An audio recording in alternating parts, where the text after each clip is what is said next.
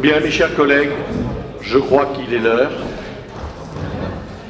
Nous allons pouvoir commencer nos travaux. Si vous voulez bien prendre place, Monsieur Rezinski et Monsieur... Bien, Monsieur Valency. Bien, mes chers collègues, je déclare donc ouvert la séance du Conseil municipal de ce jour et je voudrais tout de suite, avant que nous abordions les dossiers qui nous concernent, vous évoquer quelques dossiers supplémentaires que j'ai mis sur votre table qui nécessitent une certaine urgence.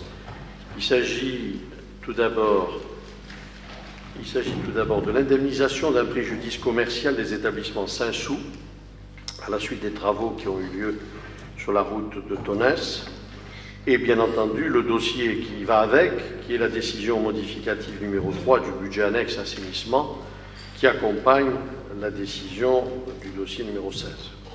Ensuite, un dossier urgent qui est une subvention exceptionnelle au cyclo-club Marmandais. Monsieur Silière vous en expliquera euh, les raisons. Bien, mes chers collègues, nous allons tout d'abord, le quorum est là, nous allons, s'il vous plaît, désigner un secrétaire de séance. Je vois que M. Didier Duteil est là. Est-ce qu'il accepte d'être euh, secrétaire de cette séance? Bien. Pas d'opposition? Je m'abstiens comme d'habitude. M. Ruti s'abstient. Bien. La prochaine fois, ce sera à vous d'être désigné comme secrétaire. Peut-être que M. Duteil ne Il l'a été et, et M. Duteil ne s'était pas abstenu. Je fais remarquer. Bien. Alors, j'ai des pouvoirs. J'ai plusieurs pouvoirs qui me sont arrivés. Tout d'abord, de Madame Marise Delanzy à Monsieur Cerruti. Ensuite, de Madame Sophie Borderie à Monsieur Charles Silière, qui devait arriver en retard, mais il est là. Donc j'annule ce pouvoir. Madame Dominique Campan, je ne la vois pas. C'est Sophie Borderie qui doit arriver en retard et qui a donné mandat à Monsieur Silière. Ensuite, Dominique Campan, qui a donné pouvoir à M. Jean-Paul Gondelon, mais on me dit que Mme Dominique Campan va arriver également. M. Yann Delbrel qui donne pouvoir à Mme Monique Normand, Christelle César qui donne pouvoir à Mme Anne Mailleux, Françoise Verdier qui devait me donner pouvoir, mais qui est arrivée, donc par conséquent, on annule ce pouvoir. Y a-t-il d'autres pouvoirs, mes chers collègues? Il n'y en a pas Bien, je vous remercie. Je vous soumets l'adoption du procès verbal du Conseil municipal du 25 novembre 2013. Y a-t-il des observations, des oublis, quelque chose? Oui, Madame Vallée, vous avez la parole. Merci, Monsieur le maire, de me donner la parole. Oui, je voudrais donc euh, deux modifications concernant le PV. Euh, la première concerne page 3, le dossier numéro 1, présentation du projet multimodal, candidature de VGA. Page, vous dites, excusez-moi, page 3. hein. Page 3. Donc ça concerne mon, mon intervention. Donc euh, il est spécifié un petit paragraphe. En clôture des échanges, Laurence Vallée signale que les élus de l'opposition ne participeront pas, jugeant un manque d'informations préalables, et plus précisément sur la notion de prendre acte au lieu de vote inscrite sur la délibération. C'est ça, il me semble que c'est ce que vous avez dit. Non, c'est pas précisément ce que vous j'ai aviez dit. Non, ce que j'ai dit, monsieur le maire, donc ce que je souhaite, c'est que ce paragraphe soit supprimé et qu'en lieu et place, euh, il soit écrit, donc, je ne sais pas si vous vous rappelez le déroulement, donc, monsieur le maire demande à l'Assemblée de voter ce dossier. Euh, Madame Vallée intervient en rappelant que l'ordre du jour prévoit de prendre acte de la présentation de Oui, ce projet. Non, non, C'est c'est ce que pas- vous aviez dit, effectivement. voilà. Donc, si vous pouvez le noter, si vous voulez, je l'ai écrit aussi pour que mes termes soient bien retranscrits. D'accord, pas de problème. Donc, attendez, j'ai pas terminé. Je vous le. Donc, Madame Vallée intervient en rappelant que l'ordre du jour prévoit de prendre acte de la présentation de ce projet et nullement de le voter. Monsieur le maire maintient sa position en demandant le vote de ce dossier. Madame Vallée lui répond qu'il ne peut pas faire voter ce dossier et que, en conséquence, son groupe ne participera pas à ce vote. Ça, ce sont Écoutez, je suis d'accord. Pas de problème, vous l'aurez, ça sera inscrit et le procès-verbal sera rectifié dans le sens que vous Parfait. C'est le premier point. Merci, monsieur le maire. Le second, c'est le dossier numéro 2. Décision de principe de cession. Ça, ça concernait, vous savez, la cession de la partie de la cité judiciaire. Donc, page 6. Page 6, page 6, 4, 5, 6. Je vous écoute, à quel endroit? Voilà, donc euh, il y a un petit paragraphe aussi. Madame Vallée. Assez succinct, voilà, en inter- Je demande à ce que soit ajouté mon intervention. Euh, C'était suite aux propos que vous aviez tenus concernant votre en- entretien personnel avec Madame la garde des Sceaux. Répé- ben, on va le euh, rajouter, oui, oui, tout à Donc fait. j'avais euh, demandé, euh, Monsieur le maire, voilà ce que j'avais dit, donc je souhaiterais que ça soit retranscrit. Euh, Monsieur le maire, euh, c'est un grand honneur d'avoir eu personnellement Madame la garde des Sceaux à ce sujet, et nous souhaiterions connaître précisément la date de votre entretien. Très bien, ce sera écrit. Voilà, ce à quoi vous n'aviez pas répondu, mais on n'est pas là pour discuter de ça. Donc si vous pouviez juste euh, modifier, et si vous voulez, j'ai juste euh, Ce sera fait sans j'ai problème. une note si- pour vous simplifier. Vous les donnez au service, hein, parce que ce sont eux qui rédigent le procès-verbal. Alors, je crois que Monsieur Labardin aussi a quelque chose à ajouter. Monsieur Labardin Oui, j'ai trois modifications. Donc sur la page 5, avant-dernier paragraphe, Oui. à ces propos, donc Philippe Labardin euh, ajoute, Monsieur le maire, donc euh, en fait ce que j'avais dit à l'époque, c'est Monsieur le maire, vous ne m'avez pas écouté, vous avez présenté et fait voter au bureau communautaire ce dossier. Et ensuite vous faites voter le conseil communautaire sans en avertir le conseil municipal. Ce, que vous- ce qui vous est reproché, c'est de passer outre l'avis du conseil municipal. Vous dites que je mélange les Chinois avec ce projet. C'est vous, monsieur le maire, qui nous dites que les Chinois veulent investir un hôtel de luxe à Tonnes. De plus, croyez-vous qu'un hôtel de 70 places à Marmande est réaliste pour seulement, vous dire, 10 à 15 événements dans l'année? Pour rentabiliser un tel projet, il faut un taux de remplissage annuel d'au moins 70%. Si moi je ne sais pas gérer, vous ne savez pas gérer du tout. La sagesse voudrait qu'on en attende la décision de la Chambre détachée avant d'engager 640 000 euros de travaux. Votre proposition n'est pas sérieuse. Il faut attendre le retour début d'année des décisions de la chancellerie. Voilà ce que j'ai évoqué la dernière fois et qui n'est pas repris dans, dans le compte rendu. Monsieur Labardin, vous m'avez demandé au cours de cette semaine, vous m'avez demandé les cassettes qui, par conséquent, enregistraient nos conversations et nos débats. Je vous ai indiqué qu'il n'y avait aucune difficulté pour que vous puissiez les écouter ici, mais que je ne les faisais pas sortir, si vous voulez, de la mairie, car je ne voulais pas les voir apparaître, non pas de votre part, car je sais que vous êtes un honnête homme, euh, modifié, transformé, euh, je ne sais quoi, sur YouTube ou sur euh, Twitter ou je ne sais quoi. Donc par conséquent, j'ai décidé de saisir l'ACADA, moi aussi, puisque Madame Vallée m'a demandé également la même chose et elle me disait qu'elle allait saisir l'ACADA. Eh bien moi aussi, je saisis l'ACADA et je vous dirai à ce moment-là ce qu'il aura lieu par conséquent de faire. Car jamais, Monsieur Labardin, nous reprenons tout ce qui se dit. C'est trop long. C'est un compte-rendu analytique qui est rendu chaque fois du conseil municipal. Ce qui est important, je crois, au niveau normatif, c'est tout simplement que euh, telle ou telle délibération dans un sens ou dans un autre. Bon. Je crois que, puisqu'il en est ainsi, j'ai pris la décision, puisque la loi m'y autorise, de faire désormais enregistrer, non plus sur cassette vidéo, mais sur, euh, oui, sur cassette vidéo et non pas sur cassette audio, tout simplement les conseils municipaux. Et dès jeudi ou vendredi, ça sera mis sur le site de la ville de Marmande. Ainsi, tous les Marmandais pourront tout simplement regarder et voir comment les séances du conseil municipal se déroulent, qui dit quoi, qui ne le dit pas, etc. Nous n'allons pas passer nos soirées à vérifier si vous avez dit les choses de telle ou telle façon, et moi de telle ou telle autre façon. On ne va pas se chamailler pour ce genre de choses. Moi, il me semble que le mieux, c'est que les Marmandais voient tout simplement la réalité telle qu'elle est, et telle que chacun, bien entendu, euh, s'exprimera. Voilà un petit peu Je suis tout à fait les conséquences de, de tout cela. Je suis tout à fait d'accord, monsieur le maire. C'est bien pour cela que je précise que ces paragraphes ont, été oubliés. Il en est de même pour un paragraphe sur la page 7 et un deuxième également sur la page 7. Alors je pourrais vous faire passer le document, comme ça vous verrez euh, pour le, le, mettre dans le PV euh, du dernier conseil municipal. On les fera mettre, voilà. D'accord. J'écris à la CADA immédiatement pour savoir ce que je dois faire des fameuses cassettes.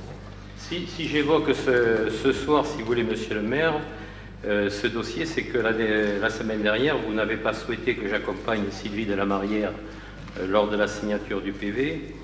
Cet épisode, pour moi, a été enrichissant euh, parce que je voulais vous demander de consulter notamment les pouvoirs qui n'ont pas été annexés au PV. Et donc je me suis aperçu que effectivement les pouvoirs n'étaient pas annexés au PV. Aussi, je demande à Madame Cabos, euh, directrice euh, cadre administratif, d'aller chercher les PV afin de valider le procès verbal. Donc, et en l'occurrence, on demande une, une suspension de séance le temps d'avoir ces PV. Écoutez, procuration. on ne va pas faire de suspension de séance maintenant, c'est moi qui décide des suspensions de séance ou pas je vous indique que la loi donne au maire la police des délibérations du conseil municipal. Donc, vous me dites que les PV n'étaient pas les, les procurations. les procurations. Ils seront ajoutés, monsieur, comme vous le souhaitez. Oui, mais on souhaite les voir, les procurations. Mais Madame Cabos vous les donnera. elle, peut aller, peut aller, nous les chercher. Non, écoutez, arrêtez de vous amuser. Bon, mes chers collègues, nous avançons si vous voulez bien. Et nous allons commencer par le Monsieur le maire, juste pour clôturer, euh, puisqu'on doit approuver le PV et qu'il est spécifié donc les pouvoirs qui sont annexés, si on ne peut pas avoir accès à ces pouvoirs, on n'approuvera pas le procès verbal. D'accord. Donc nous n'approuvons pas le procès verbal et on prend acte.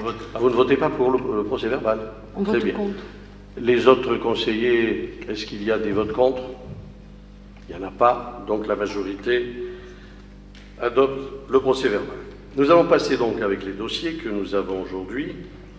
Nous avons trois dossiers importants et nous allons commencer par le dossier numéro 2, qui est l'opération Front de Garonne, présentation du projet de construction d'un EHPAD sur l'îlot Lafito. Chers collègues, avant d'aborder ce dossier et les autres, je voudrais dire simplement trois mots.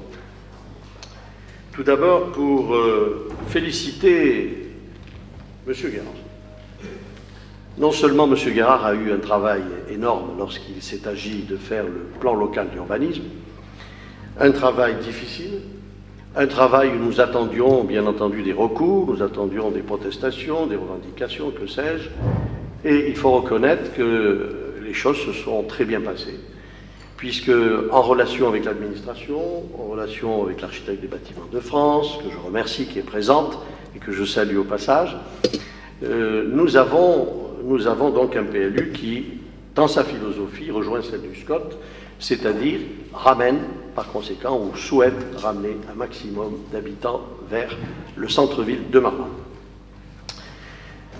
Je voudrais également profiter de ces trois mots pour euh, dire combien notre service urbanisme a bien travaillé. Bien travaillé.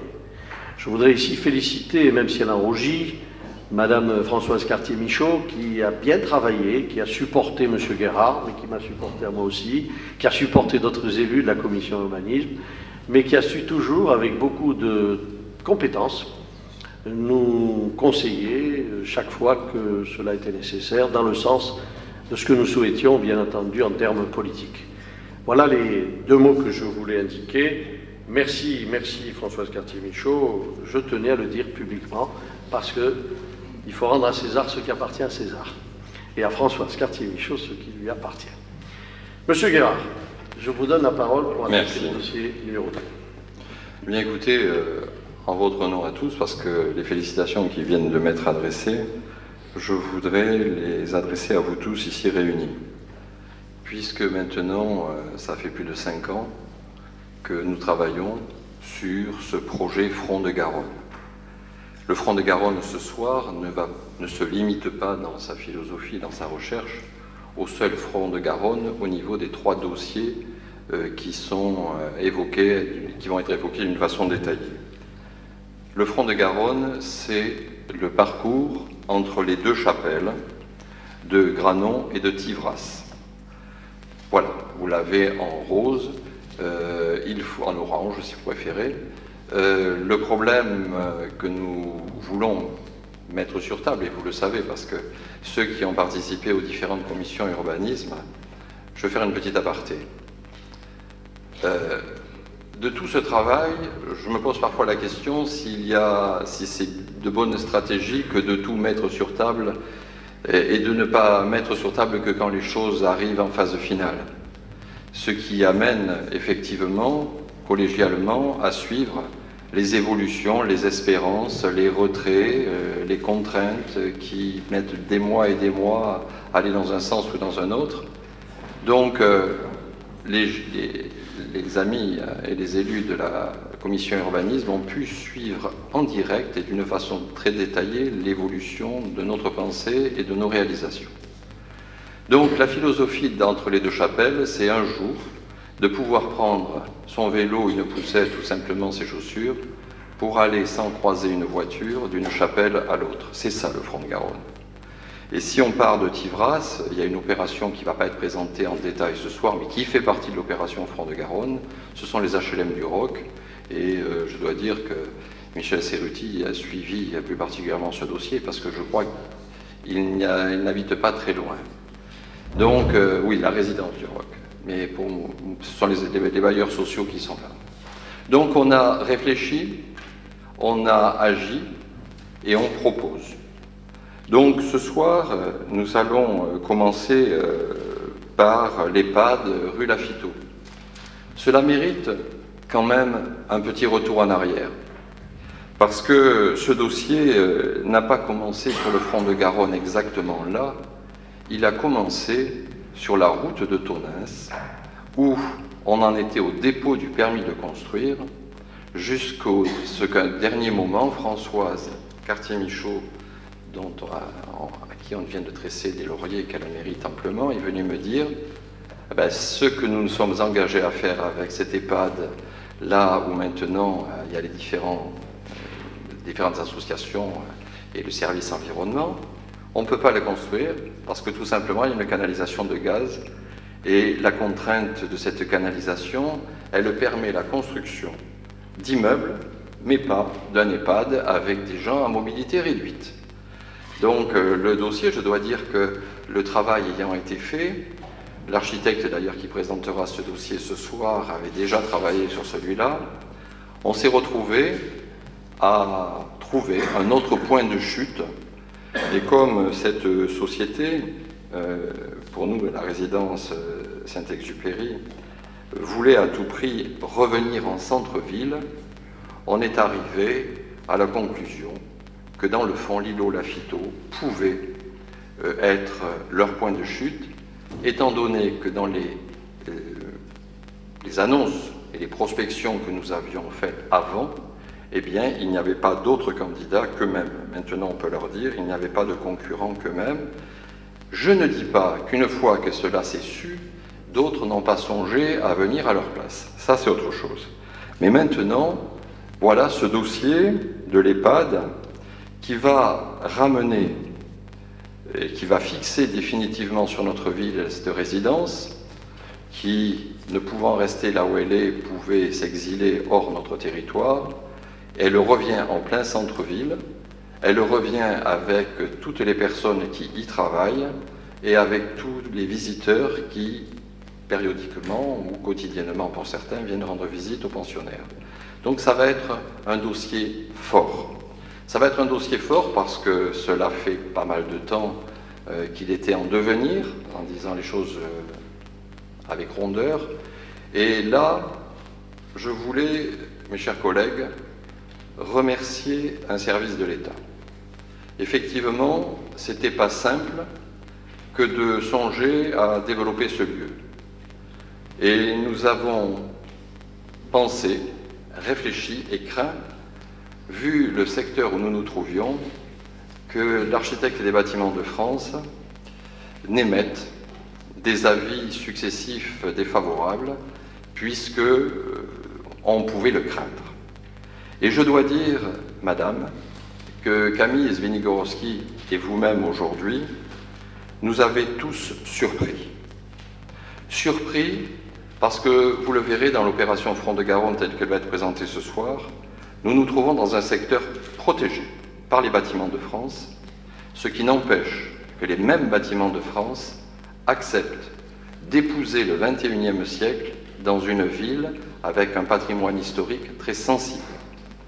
Et on accepte le principe des strates successives des évolutions architecturales, et les immeubles que vous allez découvrir, pour certains d'entre vous, sont effectivement très loin du plagiat 18e que l'on pouvait craindre. Donc, euh, ça ne va pas être la bataille d'Hernani, ça ne va pas être la bataille de la pyramide du Louvre, mais nous nous trouvons un petit peu dans cette même philosophie que de présenter des choses auxquelles on ne s'attendait pas forcément. Donc, Madame, je considère, et nous considérons, que si ce projet existe, une très grande part et grand mérite en revient au bâtiment de France.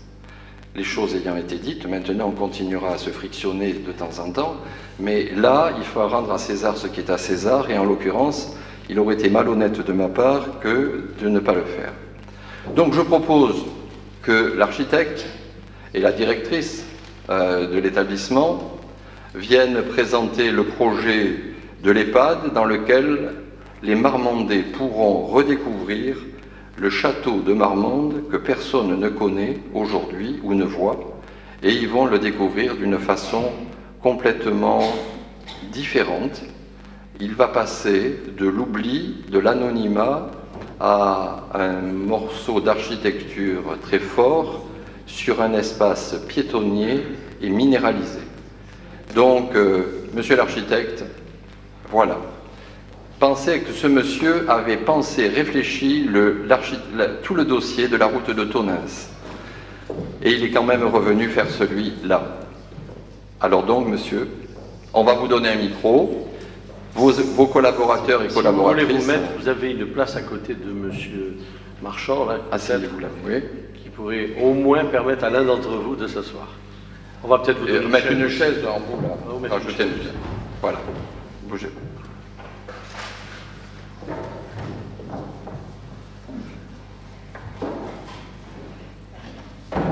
Voilà. Allez-y, monsieur. Il y a le micro là-bas Oui, vous l'avez Françoise. Le laser Voilà.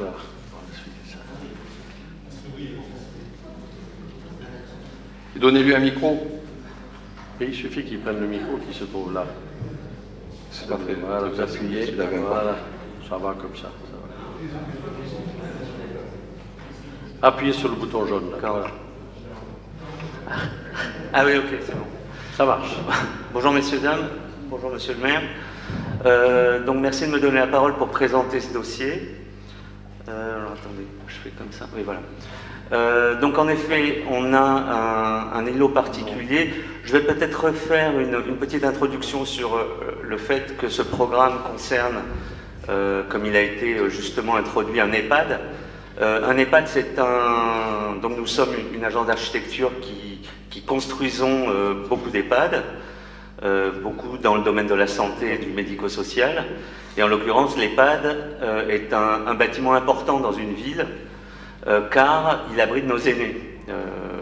donc c'est un, un, un, bâtiment qui concerne tous nos parents qui seront peut-être, on espère quelque part que non, mais ça peut arriver, dans ce bâtiment. Donc c'est un bâtiment de vie qui est important dans une ville.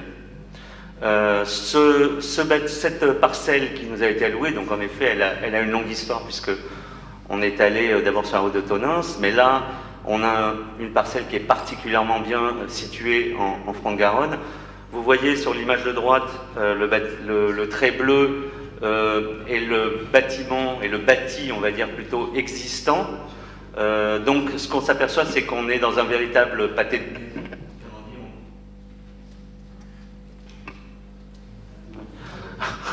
Autrement dit, on est, euh, entouré de quatre voies, euh, ce qui permet une, bonne desserte du, terrain.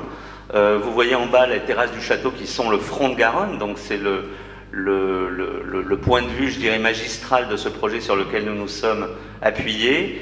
Et vers le nord, puisque le nord, je dirais, est en haut de la feuille de manière, de manière schématique, nous aurons le. On voit un petit peu sur l'image en bas, en bas à gauche, ici, on voit ici les bâtiments existants avec le bâtiment que l'on nomme le château et là à côté la chapelle, euh, qui sont deux bâtiments magistraux de la ville de Marmande, sur lesquels en effet, euh, comme disait M. Guérard, nous avons travaillé avec l'architecte des bâtiments de France pour les savoir les préserver et les mettre en valeur.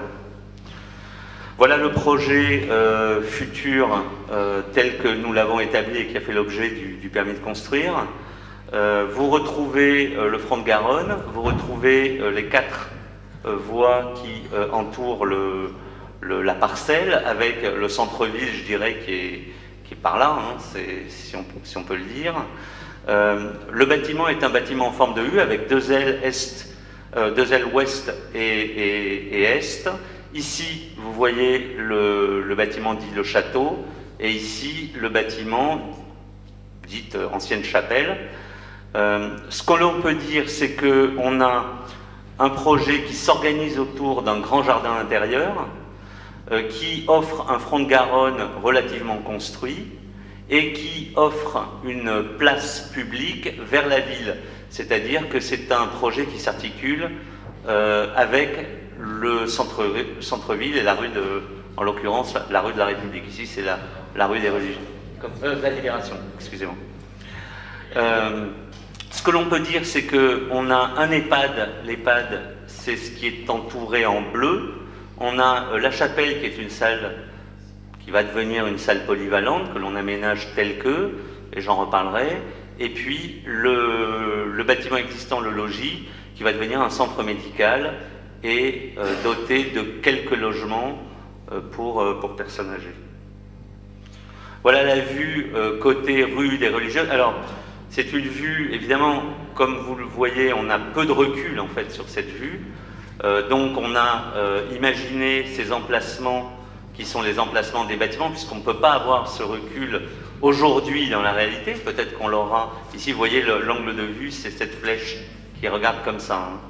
Ce que l'on peut voir, c'est qu'on a un dénivelé qui est, qui est quand même à traiter. Donc on a créé cette espèce de parvis euh, minéral avec des emmarchements. Ici, vous avez le pignon de la chapelle, enfin de l'ancienne chapelle, et ici la maison, le, le, château, qui est mis en valeur. Pourquoi il est mis en valeur? Puisque vous l'avez vu dans les images précédentes, euh, et vous connaissez le site, j'imagine, en tant que, que Marmandais, forcément, aujourd'hui, il y a tout un tas de bâtiments qui sont construits ici, qui sont des annexes, des, des bâtiments de, de peu d'intérêt architecturaux, qui ont engoncé ce bâtiment. Et un des travaux que l'on a fait avec la ville et l'architecte des bâtiments de France a été de remettre en valeur ce bâtiment et de lui donner, de lui redonner sa place historique, je dirais, euh, dans, le, dans, le, dans ce centre-ville, enfin près du centre-ville.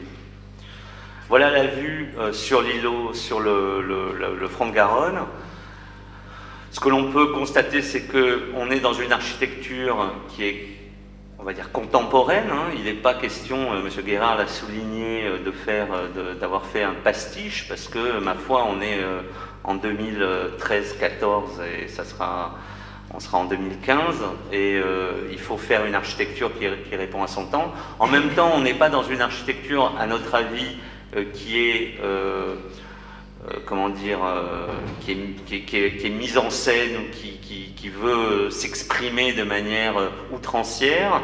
On est dans une architecture qui reprend des vocabulaires de, fenêtres, qui reprend des vocabulaires d'attiques, qui reprend des sous-bassements. avec une partie intermédiaire, des terrasses largement ouvertes vers, le, vers la Garonne et donc vers le sud. Hein, c'est important. On verra ça dans les plans. Donc on est bien sur cette façade là et vous voyez l'angle de vue regarde vers la façade. On a un dénivelé, mais on le verra euh, après dans les coupes. Voilà. Euh, ici, ben, le plan masse avec le parvis, on l'a un, petit peu, un petit peu vu tout à l'heure, avec le grand parvis minéral, vous avez vu les vues. Euh, voilà un zoom sur le parvis. Voilà le, rez-de-chaussée haut. J'ai commencé par le rez-de-chaussée haut parce que c'est le niveau. alors, on parle de rez-de-chaussée haut et de rez-de-chaussée bas parce que, et vous allez voir dans la coupe, le front de Garonne et les, la, voie qui longe le front de Garonne, qui s'appelle, je n'ai plus son nom en tête, euh, les terrasses du château, voilà, sont en contrebas. Donc ce niveau-là, qui est un niveau euh, pour nous de référence, qui est le niveau du jardin central et qui est le niveau aussi euh, du parvis, donc qui est le niveau de la ville, on va dire, est un niveau qui abrite un ensemble de, sur quatre niveaux, puisqu'en fait, ici on est au rez-de-chaussée haut, on a deux niveaux au-dessus de la tête et on a un niveau au niveau, au, voilà, c'est ce niveau inférieur qui est euh, le niveau bas, terrasse du château. Donc ici on est au niveau supérieur, ici on est au niveau inférieur. Je l'ai mis, ça a l'air un peu paradoxal, je l'ai mis au niveau, je ne l'ai pas mis dans l'ordre des diapos, mais c'est un peu fait exprès puisque ça c'est un vrai niveau de référence qui est le niveau de vie euh, des, unités hébergées qui donnent sur le jardin central et qui, ont, euh, qui sont liées au parvis arrière côté, côté ville. Euh, parking souterrain que vous avez, que vous nous avez montré tout à l'heure. Ici, c'est un parking souterrain. Voilà, il y a un parking souterrain là. Voilà. Alors, je vais aborder le programme rapidement. Le programme rapidement, c'est 98 lits pour les personnes âgées, hein, qui sont organisés comme on est en type J, c'est-à-dire ça c'est un classement euh, lié à la sécurité incendie, les EHPAD sont très liés à la sécurité incendie, puisqu'il y, a un, vrai, euh, un vrai précaution à prendre vis-à-vis de ces établissements. Donc on est en 7 unités de 14 lits. Ici, ce qu'on peut noter, c'est qu'on a une unité de personnes, euh, ce qu'on appelle un UPPD, c'est une unité de personnes très dépendantes, qui ont leur jardin sécurisé ici. Euh, ici, on a euh, une zone administrative et on retrouve une autre unité de 14 lits. Et ainsi, ça monte, si on monte sur les niveaux, comme vous pouvez le voir, on monte ainsi au R plus 1 et au R plus 2. Je fais un petit peu des allers-retours, mais c'est pour vous montrer que le bâtiment est bien sur un rez-de-chaussée haut, avec un rez-de-chaussée bas qui est au niveau des terrasses du château, qui va être la future entrée euh, du bâtiment, avec ici une zone du personnel, comme disait Monsieur le maire, euh, des parkings enterrés qui donnent directement sur la terrasse du château. Ensuite, on, est au R plus 1, où on a les unités euh, de 14 lits des, personnes âgées. On a des espaces de vie importants avec des grands salons qui donnent à la fois sur le jardin intérieur et à la fois sur la Garonne ici. Et pareil, au deuxième étage, au R plus 2, on a à nouveau des unités de 14 lits avec des espaces centraux qui sont des unités de salon et de salle à manger et euh, des chambres et des espaces de vie qui donnent sur, le, euh, sur la terrasse de la Garonne et sur le jardin central. Ici, on retrouve bien le petit château avec ses logements.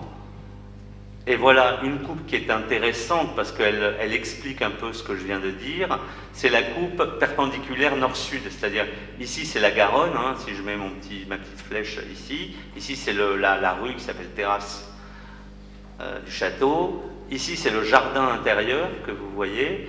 Et ici c'est le parvis avec ici la façade latérale de la chapelle. Ça a l'air un peu compliqué comme ça euh, parce que c'est, le terrain est compliqué puisqu'il a différents niveaux. Hein, on n'est pas, pas à plat, mais c'est bien, euh, bien la coupe nord-sud euh, du projet. c'est cette coupe ici qui est comme ça. Ici, la coupe de l'autre côté, toujours nord-sud, mais qui montre bien les différentes terrasses que l'on crée vers le front de Garonne, avec la terrasse du château ici, et ici, le jardin intérieur et l'accès vers la ville qui se trouve par là.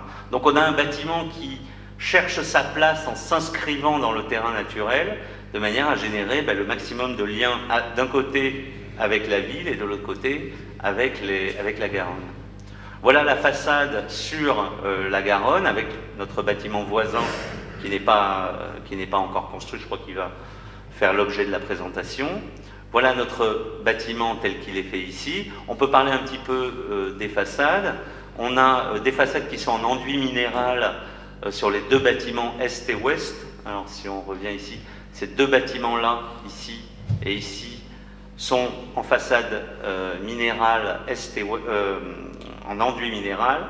Ici, on a un, un attique qui est en dans une maille d'acier, une maille d'acier galvanisée. Donc c'est un, matériau, j'ai des échantillons ici, vous pourrez les, regarder.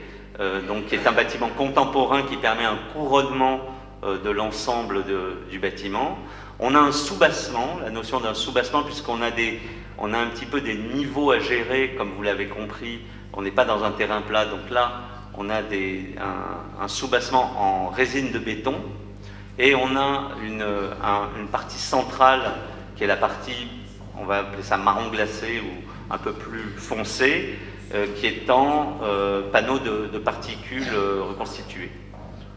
C'est du rock panel, c'est des panneaux de laine minérale euh, compacté. Voilà la façade sur la rue. Alors je, là, j'ai plus les noms exactement. C'est la petite rue, c'est la rue du Mirail, attendez, je vais ça. Sur la rue du Mirail. Voilà, en effet. Donc ça, c'est la façade sur la rue du Mirail qui est en enduit. Hein. Donc vous voyez qu'on a un vocabulaire assez, assez sage. Ici, c'est la façade sur la rue Lafiteau, avec la façade de l'ex-chapelle existante et euh, la façade de l'EHPAD qui donne sur la rue Lafiteau.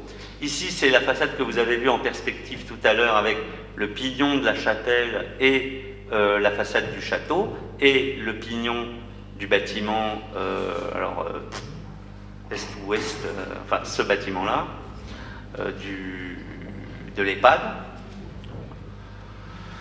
Qu'est-ce qu'on peut dire des chambres? Les chambres euh, répondent en tout point euh, aux, normes et aux, qualités euh, PMR. On n'a que des chambres à un lit qui sont en accessibilité, ce qu'on appelle PMR, enfin personne à mobilité réduite, handicapé, fauteuil roulant, avec le principe d'une salle d'eau qui donne sur le couloir et le principe d'une chambre, l'ensemble faisant 20 mètres carrés, avec alors, il n'y a pas de fluides médicaux dedans, puisque c'est un type J, donc on n'est pas dans un type, pour, euh, pour, ceux qui connaissent un type U, qui est un type hospitalier, on est bien dans un type J, qui est un type EHPAD, qui est une adaptation du type U. Donc, on n'a pas de fluides médicaux fixes, c'est-à-dire on n'est pas équipé en fluides médicaux. C'est important à dire.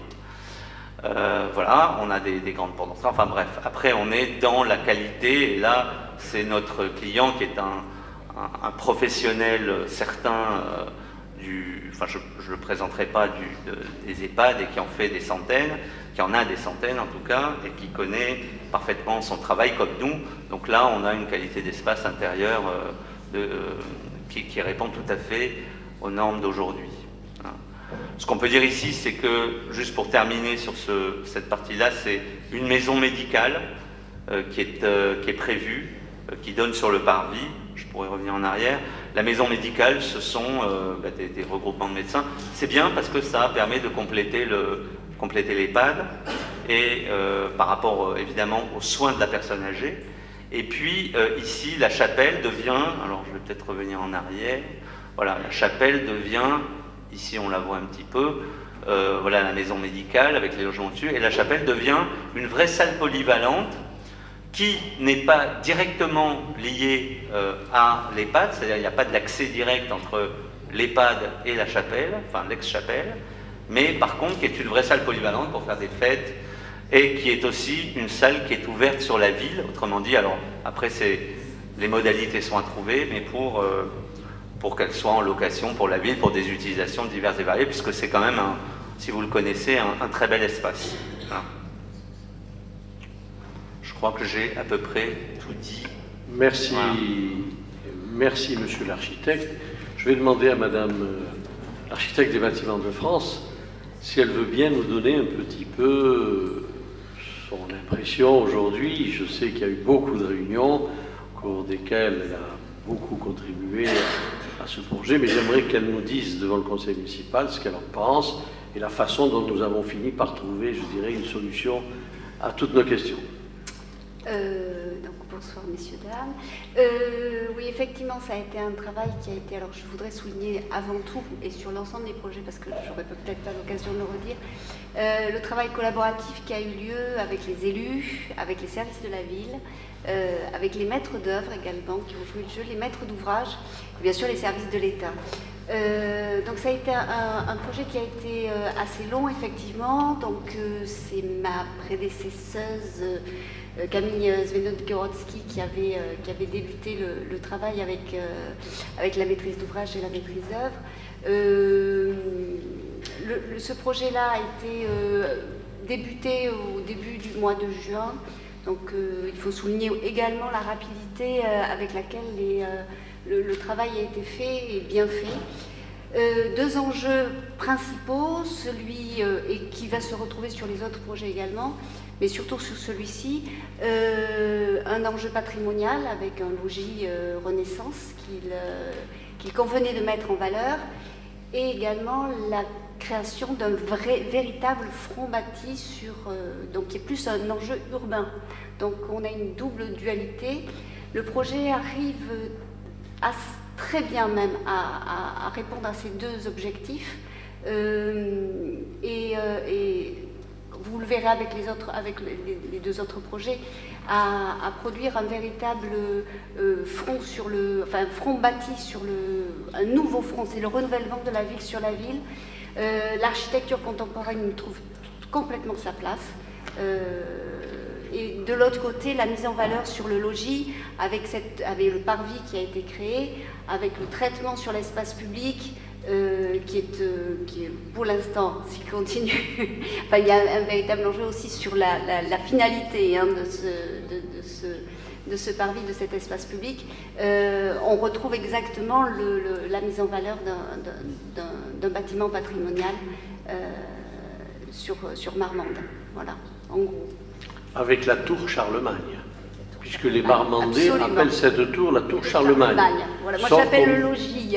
On me dit qu'elle ne date pas de l'époque de Charlemagne, elle est bien postérieure. Je pense, oui. Les Marmandais ont dû rêver, là, en pensant que Charlemagne était passé par là.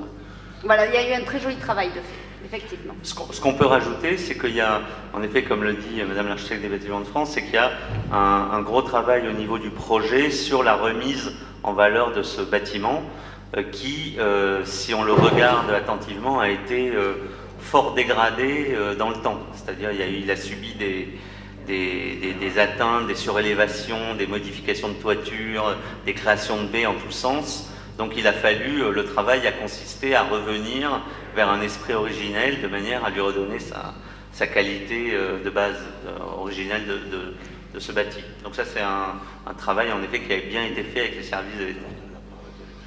Un travail de restauration, il faut bien le dire. Voilà, tout, à fait, tout à fait. Bien, je, je, crois que Madame la directrice de l'établissement de Saint-Exupéry est dans la salle. Je me trompe? Ah, elle est là, elle est en haut, excusez-moi. Excusez-moi autant pour moi. Est-ce que vous pouvez, s'il vous plaît, en quelques mots, informer le conseil municipal sur ce qui se passe, euh, pourquoi vous quittez, après tout le bâtiment qui se trouve euh, du côté de l'avenue des Villas, pourquoi vous voulez venir ici, est-ce qu'il y a un progrès, est-ce qu'il y a une amélioration, de quel ordre, etc. Je vous laisse la parole. Merci, monsieur le maire. Bonsoir à tous. Donc la résidence euh, Saint-Exupéry, euh, c'est donc euh, groupe de Musevie depuis 2002. c'est un établissement de 98 résidents, de 56 salariés actuellement, avec deux emplois d'avenir qui sont venus combler nos, rangs. alors l'établissement actuellement, ce sont des chambres jumelées, c'est-à-dire que les résidents ont chacun leur chambre. Euh, mais partagent euh, une grande salle de bain et un, WC. Donc c'est vrai que euh, pour, pour les résidents, ça va leur permettre d'avoir bah, chacun son espace. donc c'est une grosse amélioration, ça c'est sûr. donc voilà, effectivement, on attend ça avec impatience pour pouvoir leur permettre de, toujours mieux vivre dans la, dans la qualité. voilà. Merci. Je voudrais informer le conseil municipal que je me suis inquiété, moi, du devenir du bâtiment actuel de la maison de Saint-Exupéry. Il faut dire que ce ne sont pas les mêmes. Vous êtes locataire alors que le propriétaire est un consortium, euh, je crois, parisien. J'ai eu l'occasion de rencontrer à Paris un monsieur dont je ne me souviens plus le nom, qui était, je crois, belge, et qui était euh, l'un des actionnaires, euh, et qui m'a dit qu'ils étaient en train de rechercher la possibilité d'installer dans le bâtiment actuel de Saint-Exupéry un centre de traumatologie. Alors, je ne sais pas ce qu'il en est cette affaire, est-ce qu'elle est suivie, est-ce qu'elle arrive, est-ce qu'elle n'arrive pas, euh, je ne sais pas, je n'ai plus aucune information. On verra, quand vous serez installé là, ce que les propriétaires du dit bâtiment feront, par conséquent, de l'actuel bâtiment de Saint-Exupéry. Que nous avons cette vue projetée. Euh, il y a une chose qui n'a pas été dite euh, par Monsieur l'architecte, j'attendais que vous le disiez, mais euh, vous avez obéi à la demande de l'ABF qui est de diminuer d'un étage le bâtiment existant. C'est-à-dire qu'en partie haute, il y a une saloperie qui a été construite dans les années 50 qui défigure complètement et on se retrouvera demain avec un toit tel qu'il devrait être, tel qu'il a été. Deuxième chose très importante, c'est qu'à gauche de la tour, au niveau du premier étage, vous allez voir apparaître une fenêtre Renaissance qui a dû être murée au XVIIe siècle et qui est fleur de coin, c'est-à-dire qu'elle est absolument intacte. Et elle va se retrouver mise en valeur comme jamais, parce que cela fait au moins, je dis trois, voire quatre siècles qu'elle est cachée. Vous allez voir, je pense que cet espace-là, les voisins immédiats vont se retrouver en un lieu où il fera bon vivre, alors qu'à ce jour, ils sont en droit de dire que ça mériterait d'être amélioré. Voilà, euh, ce long travail. Des questions? Monsieur Gondelon. Je ne peux pas laisser passer ce dossier sans dire un mot. J'ai grandi exactement là. J'ai travaillé longuement dans le quartier. Je dois dire que c'est avec grand plaisir, je vois que, vous savez, j'ai grandi au bout de la rue Lafito, hein, au bout de la rue des religieuses, euh, donc juste en face. Euh, donc je pense quand même qu'enfin nous allons voir la tour, la fameuse tour Charlemagne qui n'a certainement pas vu Charlemagne. Euh, je crois qu'on va avoir un très beau projet, un très beau lieu pour la ville. C'était dommage depuis si longtemps que ce, ce lieu soit laissé comme ça à l'abandon. Mais on n'y était pas pour grand-chose. Une chose, Monsieur Guérard, que devient la, la cave qui est sous cet immeuble Elle reste en place. On n'y touche pas encore. Mais j'ai cru comprendre que la directrice a une très belle cave à vin et elle l'a déjà préemptée. Monsieur Oui, je, je, veux dire, Jean-Paul Gondelon, il a grandi là, mais maintenant il pourra même euh, continuer. le, mais c'était pas ça mon, sujet, monsieur le maire. Euh, je vous remercie de cette très belle présentation. J'aurais deux, trois questions. Moi, je me réjouis effectivement de, que ça donne, euh, ça va donner un autre aspect visiblement à, cette partie-là. Ça va donner la vie. Euh, même si je regrette un peu que ça va enlever de la vie euh, ailleurs, mais vous y êtes pour rien. Hein, c'est pas du tout. Je, connais les raisons pour lesquelles vous êtes obligé de migrer. Mais maintenant, si Monsieur le Maire dit qu'il y a un projet localement, c'est pas plus mal, parce que c'est bien qu'il y ait de la vie dans, les zones pavillonnaires aussi. Donc j'ai bien aimé la cour, euh, enfin la, place un peu, un peu urbaine, tout ça. J'aurais juste deux, trois précisions, mais Madame la directrice, vous avez déjà répondu, je crois.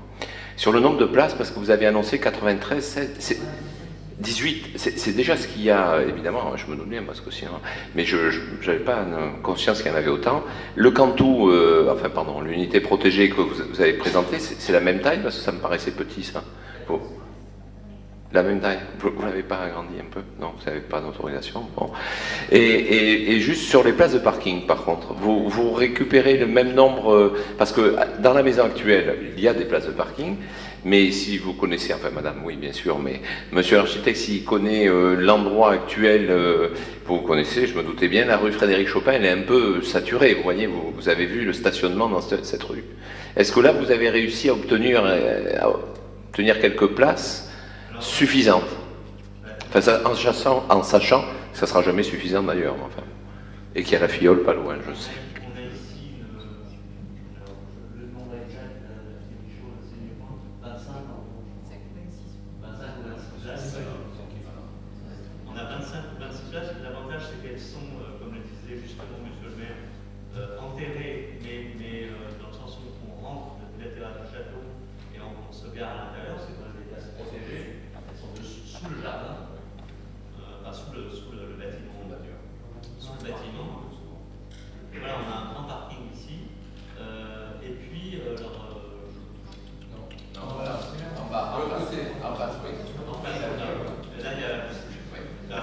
800 places en face. 800 places. Gratuites.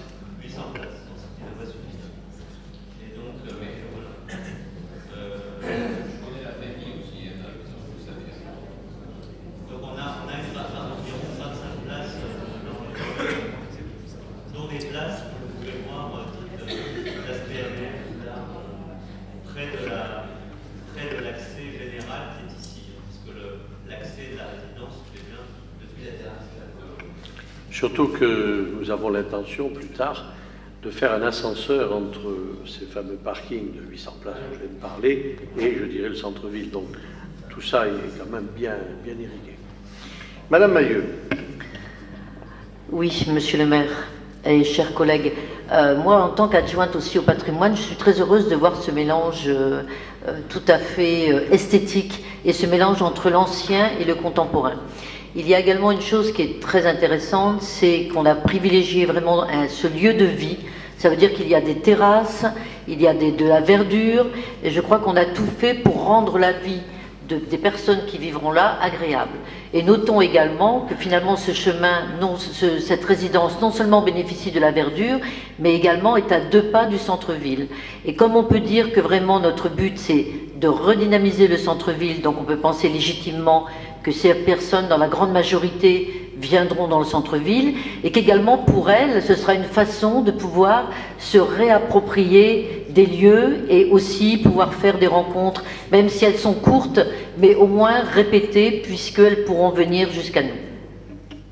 Merci. Je, ferai remarquer, je garde me souffler, mais on en discutait, la rue du Mirail va être euh, agrandie, même s'il s'agit d'une rue qui ne va servir que les riverains pas une, c'est pas un boulevard. C'est une rue, par conséquent, qui va être quand même améliorée. Elle est aujourd'hui, effectivement, dans ce quartier aujourd'hui dégradé, elle-même euh, très, très dégradée. Puis elle a une utilité, il y a une contrainte qui a été réglée par les architectes et puis euh, par notre service, c'est qu'il euh, y a un problème de sécurité, incendie, donc il faut rendre accessible aux véhicules de secours l'entier lieu. C'est pour ça que le parvis, entre autres, servir, est, vu d'un très très bon œil par les services incendies. D'autres questions Madame Villifond Monsieur le maire, ce n'est pas une, question, mais une remarque en tant qu'élue référente du quartier centre-ville. Je crois que ça va, cela va changer la configuration de ce quartier, amener euh, notre cadre de vie. Et je pense que nos conseillers de quartier vont être ravis enfin de voir la concrétisation de ce projet. Voilà ce que je voulais ajouter à, ce beau projet pour notre vie. Monsieur Kenta. Oui, je voulais savoir euh, ce que devient, en fait, à l'heure actuelle, c'est une véritable verrue. Il n'est qu'à regarder en face depuis la rue Neuville, c'est absolument effarant. Euh, il y avait un problème lorsqu'on a commencé à se pencher sérieusement sur euh, ce cas-là. Il nous a fallu garder ces murs avec des tas d'été, des tas de renforts, de... c'est absolument abominable. Euh, est-ce qu'on n'aurait pas pu se passer de ce genre de choses? Parce que j'ai l'impression que ce qui était vérité il y a quelques années devient euh, une hérésie actuellement. Les choses évoluent. elles évoluent dans le bon sens. Je m'en félicite. D'autres questions? Monsieur de Vincenzi quelque chose de très simple, c'est de connaître le début des travaux et, la durée des travaux aussi euh, pour ce chantier qui est quand même énorme et qui demande certainement euh, une durée plus, plus étendue que prévu. Alors, le permis de construire, j'informe mes conseillers, a été déposé. Le permis de construire a été déposé. Comme vous le savez, il faudra, je me tourne vers Madame l'architecte des bâtiments de France, deux, trois mois. Vous, vous avez déjà travaillé. Bon vous donnerez un avis favorable très facilement. Ça ne restera pas dans vos tiroirs pendant deux ou trois mois. Je sais que Mme Cardi-Michaud me disait environ deux, trois mois.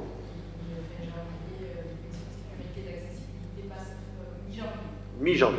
Donc on peut penser que, allez, février, le permis sera euh, signé. On peut imaginer que, par prudence, Saint-Exupéry attendra ce qu'on appelle euh, les délais de recours, qui se situent autour de deux mois, donc on peut imaginer que les travaux commencent avant l'été, avant l'été 2014. Voilà, monsieur de Vincenzi, euh, un calendrier qui paraît, je dirais, raisonnable. Raisonnable. Voilà. D'autres questions? Monsieur Lavardin? Oui, donc euh, nous, bien évidemment, nous sommes favorables à l'évolution de ce quartier. Euh, je dirais ici que l'on a largement débattu et délibéré en son temps et en son heure. Et je crois qu'effectivement, là, on peut euh, dire que M. Guérard et Mme Cartier-Michaud nous ont effectivement régulièrement informés du, devenir. Euh, nous, on pense simplement qu'il faut être prudent quand même, parce qu'en fait, aujourd'hui, on, on dépose les permis de construire et c'est des projets qui sont en cours. Donc, euh, ben, c'est des projets qui vont, je dirais, quelque part se mettre sur la place publique.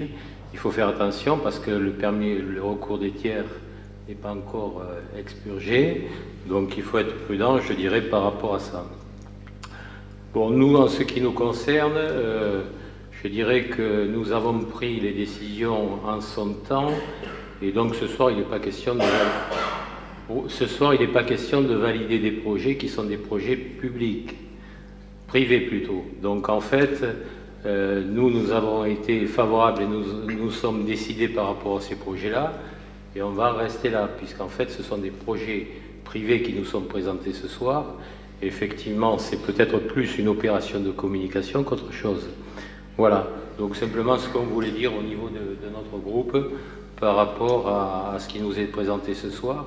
Même si ça a une vertu pédagogique, il est évident que ce qu'on nous demande aujourd'hui, euh, effectivement, de voter, ça n'a pas lieu d'être, puisqu'en fait, en son temps, nous nous sommes exprimés sur le sujet. Merci, Monsieur Labardin, mais je vous indique tout de suite que nous ne sommes pas là dans une opération pédagogique. Euh, c'est le maire qui doit signer le permis de construire, qui doit dire oui ou qui doit dire non. Je crois que la première des choses, démocratique, euh, c'est de demander sur un projet aussi important au conseil municipal de donner son aval. Si le conseil municipal tout d'un coup me dit mais non, c'est pas possible, c'est affreux, c'est abominable, vous allez défigurer le front de Garonne, etc., j'aurais effectivement quelques scrupules à signer le permis, même si Madame l'architecte des bâtiments de France euh, m'assurerait qu'il est en parfaite cohérence avec euh, l'esthétique du coin.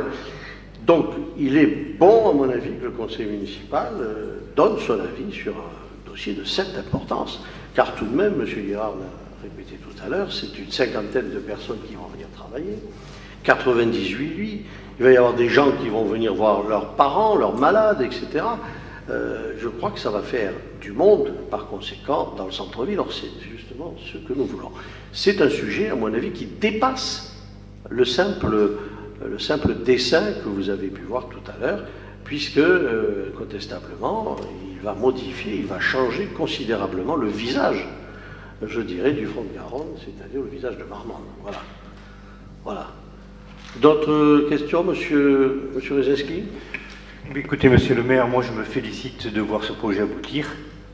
Je voterai pour sans aucun scrupule parce que je pense que c'est un projet qui va dans le bon sens, dans celui de la réhabilitation du centre-ville et puis dans celui du recours à une activité supérieure. On va réintroduire de la vie dans ce quartier qui a manqué. On va remettre de la clientèle pour les commerces marmandais qui en manquent. Et on va mettre de la vie. C'est le principal. Et je, trouve ce projet très très bien. Bien. S'il n'y a pas d'autres questions, on va passer à... Ah, Monsieur Duteil, excusez-moi, je ne vous avais pas vu. Oui. Sur ce sujet, je crois que j'ai été très en pointe dès le départ. Rappelez-vous, au moment de la préemption, de cette fameuse préemption, donc aujourd'hui, je ne suis plus en point du tout. Euh, c'est vrai qu'on nous demande de voter sur ce projet, comme on connaît bien. Alors il y a deux choses. C'est prévu euh, dans l'ordre du jour, donc je ne vois pas comment on ne peut pas le faire. Bon, on nous dit qu'il faut s'abstenir. Moi personnellement, euh, ben, je le voterai. Voilà. Tout en reconnaissant que ça, ça tombe peut-être très bien pour certains, qu'il y a une date qui n'est pas neutre, mais si on peut dire, c'est la politique. Bien, mes chers collègues, je vous demande qui est pour ce projet Qui est contre? Qui s'abstient? Madame euh, Sylvie de la Marlière, toute seule? On, ne participe pas au vote puisqu'on a déjà euh, acté ces projets-là. Donc c'est ce qu'on vous, le, donc vous le votez pas On vote pas puisqu'en fait c'est déjà voté. C'est déjà voté. Pourquoi le revoter Voilà, c'est tout. Qui simplement. Ne vote, qui ne vote pas Madame de la Marlière, Monsieur Labartin, Madame Vallée, Madame Lassus et Madame Bouguès. Bien. Très bien. Je vous remercie, mes chers collègues. Merci à Monsieur l'architecte. Merci à Madame la directrice, merci aux architectes, merci à tous ceux qui ont contribué de près ou de loin à ce dossier, important je crois pour notre ville, et dont il fallait tout de même qu'il y ait une validation par le conseil municipal, et je m'en réjouis. Le front de Garonne, ce n'est pas, j'allais dire que cela, même si c'est déjà important. D'autres projets sont en cours, et nous allons maintenant attaquer un autre dossier, qui est celui des terrasses du château. Terrasses du château, je vais demander à M. Luneau, qui est euh, l'investisseur, l'architecte peut-être, euh, de s'approcher. Monsieur Guérard, vous voulez dire un mot sur la terrasse du château? Bien, écoutez. Euh, Mettez-vous là ou là Comme vous voulez. Dans le droit fil de, ce qui a été dit jusqu'à maintenant, moi je ne vois pas un calendrier particulier, je vois l'aboutissement d'un travail très long très très long euh, pour lequel euh, nous nous sommes euh, investis. Donc pour les terrasses du château, revenons sur la philosophie initiale. Nous avions pensé, il y a maintenant six ans, qu'il fallait ramener des habitants. Là, on a ramené à côté un EHPAD, on a ramené de l'activité, mais sur la terrasse du château, nous avons pensé faire une petite résidence dont l'occupation euh, de la parcelle euh, sera grosso modo d'un tiers. Donc il y a deux tiers qui restent euh, en espace naturel. Surtout, nous répondons à une demande, et je parle là encore sous le contrôle de Françoise Cartier-Michaud, où nous ne cessons de recevoir des gens qui nous demandent un produit qui à ce jour n'existe pas à Marmande. Ce produit, bah, c'est celui que vous allez découvrir, et je dois dire que, euh, alors que l'on en est à la phase encore intellectuelle, bien que le permis de construire soit là, mais elle est à la phase intellectuelle, ce projet suscite un certain intérêt, pour ne pas dire un intérêt certain. Donc il y a là 14 appartements qui vont venir en plein centre-ville, avoir leur porte d'entrée en ville et leur balcon à la campagne. Donc euh, je crois qu'il y a là aussi une très grande originalité dans le traitement de la façade. Je dirais que ce projet, c'est plutôt, euh, euh, plutôt que vous, Madame, euh, celui de Camille Svenigorski, puisque c'est elle qui l'a piloté du début à la fin. Et je dois dire qu'entre le début et la fin, il s'est passé beaucoup, beaucoup de discussions. Donc voilà ce que vous allez découvrir dans les mois qui viennent. Monsieur Luneau. On va laisser l'architecte peut-être euh, commencer. Monsieur Luneau le dira après, puis Madame l'architecte des bâtiments de France vous donnerait, je dirais par procuration, par procuration votre avis. Non, vous ne voulez pas. Bon, on verra. Monsieur l'architecte. Bien, merci Monsieur le maire. Bonsoir à tous. Voilà, pardon. Quelques petites mises au point, pardonnez-moi. Euh, le projet, les terrasses du château sont dans le prolongement, euh, dans le prolongement de, l'opération précédente. Euh, là, je vous demande d'observer ce tableau parce que ce tableau, nous le reverrons plus tard et on vous expliquera, je vous expliquerai l'origine de, de, cette opération. L'îlot sur lequel s'inscrit le projet est l'îlot jardin public.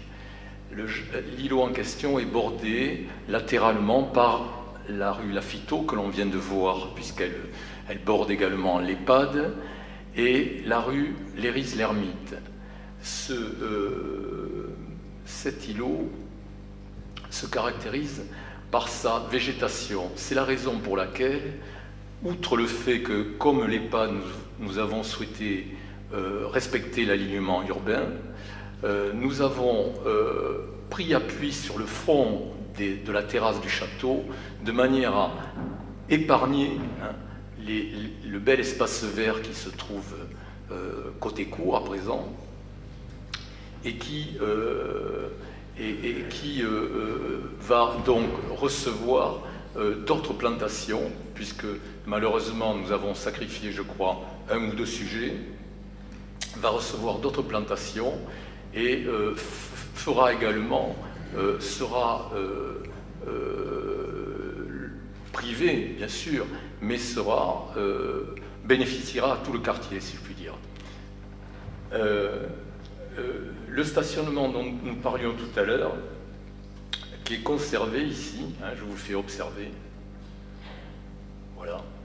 Donc voilà, le bâtiment a un gabarit, voyez, a un gabarit de R plus 3, plus attique, côté rue Lafito, hein, on le voit ici.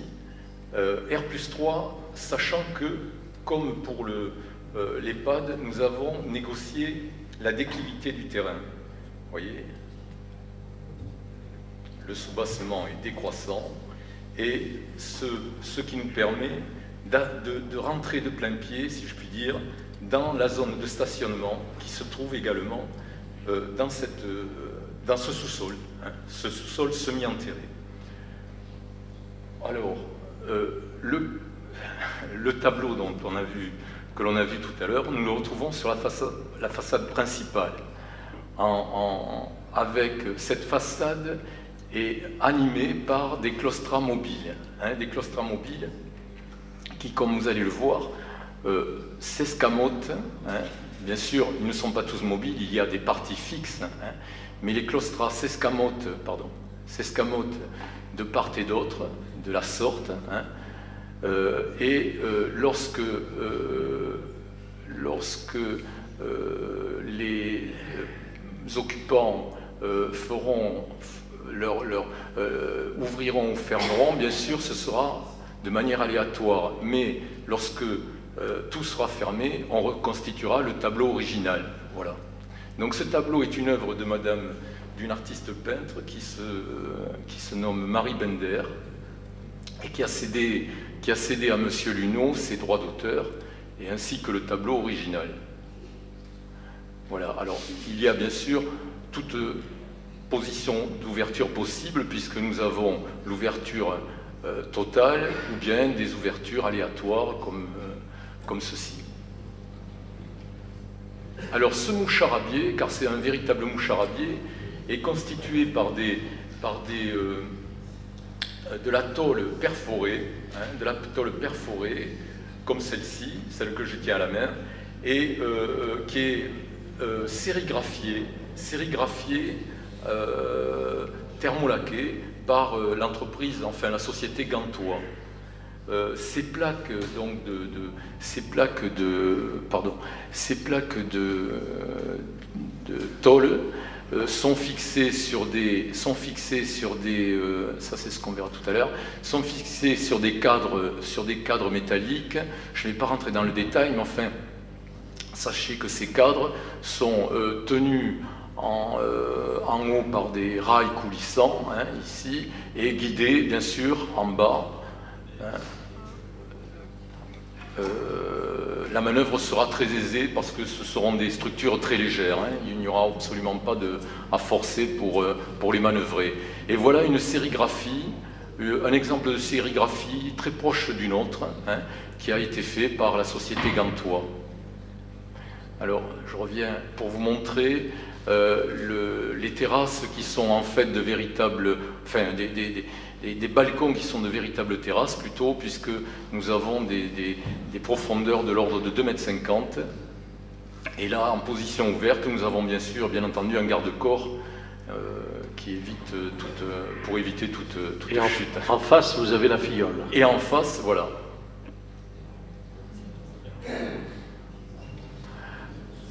Alors, je reviens euh, au plan, enfin j'en viens au plan pour, vous, pour, parler donc du, du, fameux sous-sol dont, dont, je vous ai euh, touché un mot tout à l'heure. Voilà, donc ce sous-sol euh, accueille le stationnement des véhicules, ah, décidément.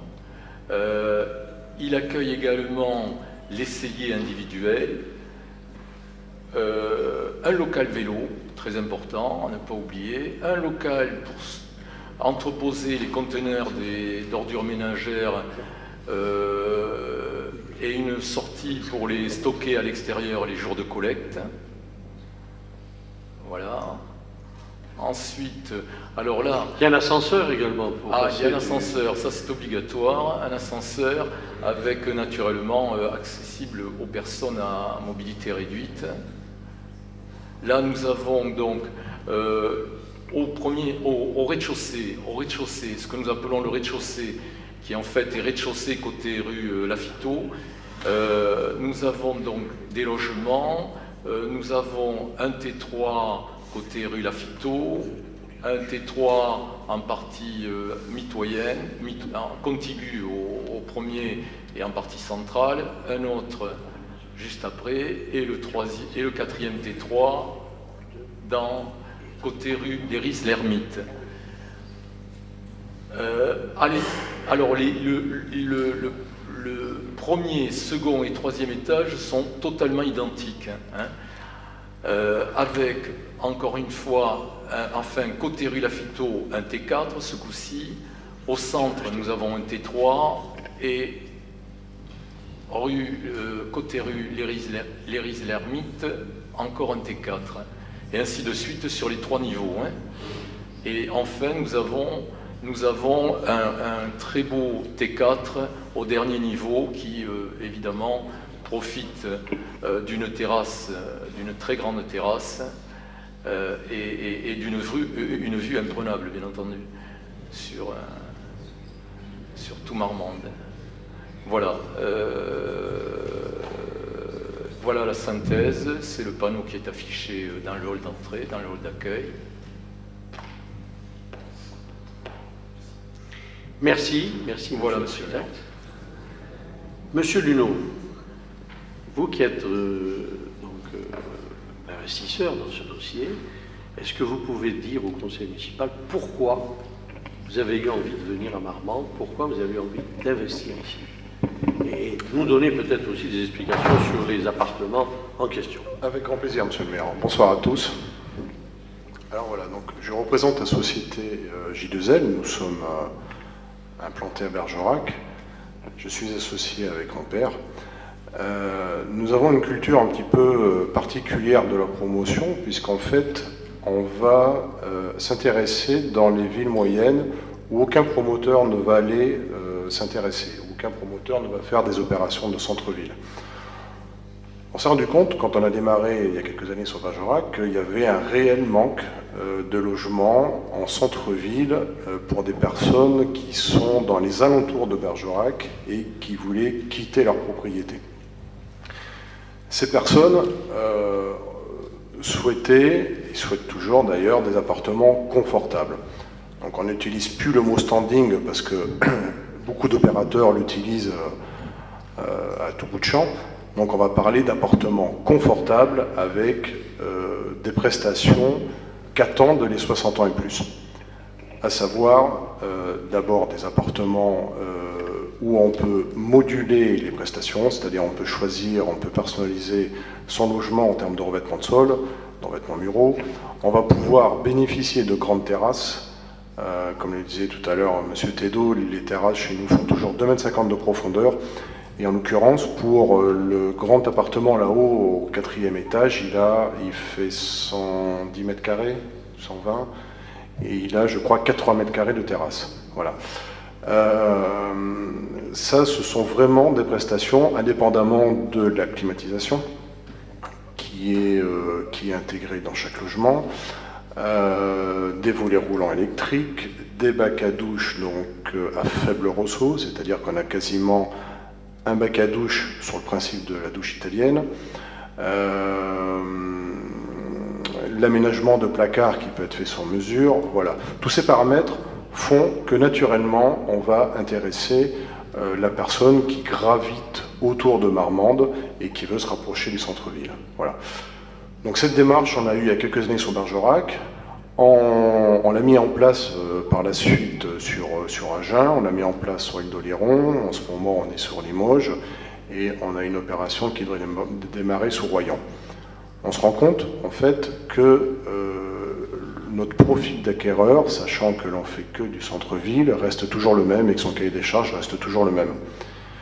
Ayant été contacté euh, par un, porteur d'affaires qui m'avait euh, relaté Marmande, euh, je me suis intéressé à cette ville parce que j'ai compris qu'il y avait eu beaucoup de logements qui avaient été faits en périphérie de Marmande, mais ces logements ne correspondaient pas à notre type de clientèle actuelle en fait.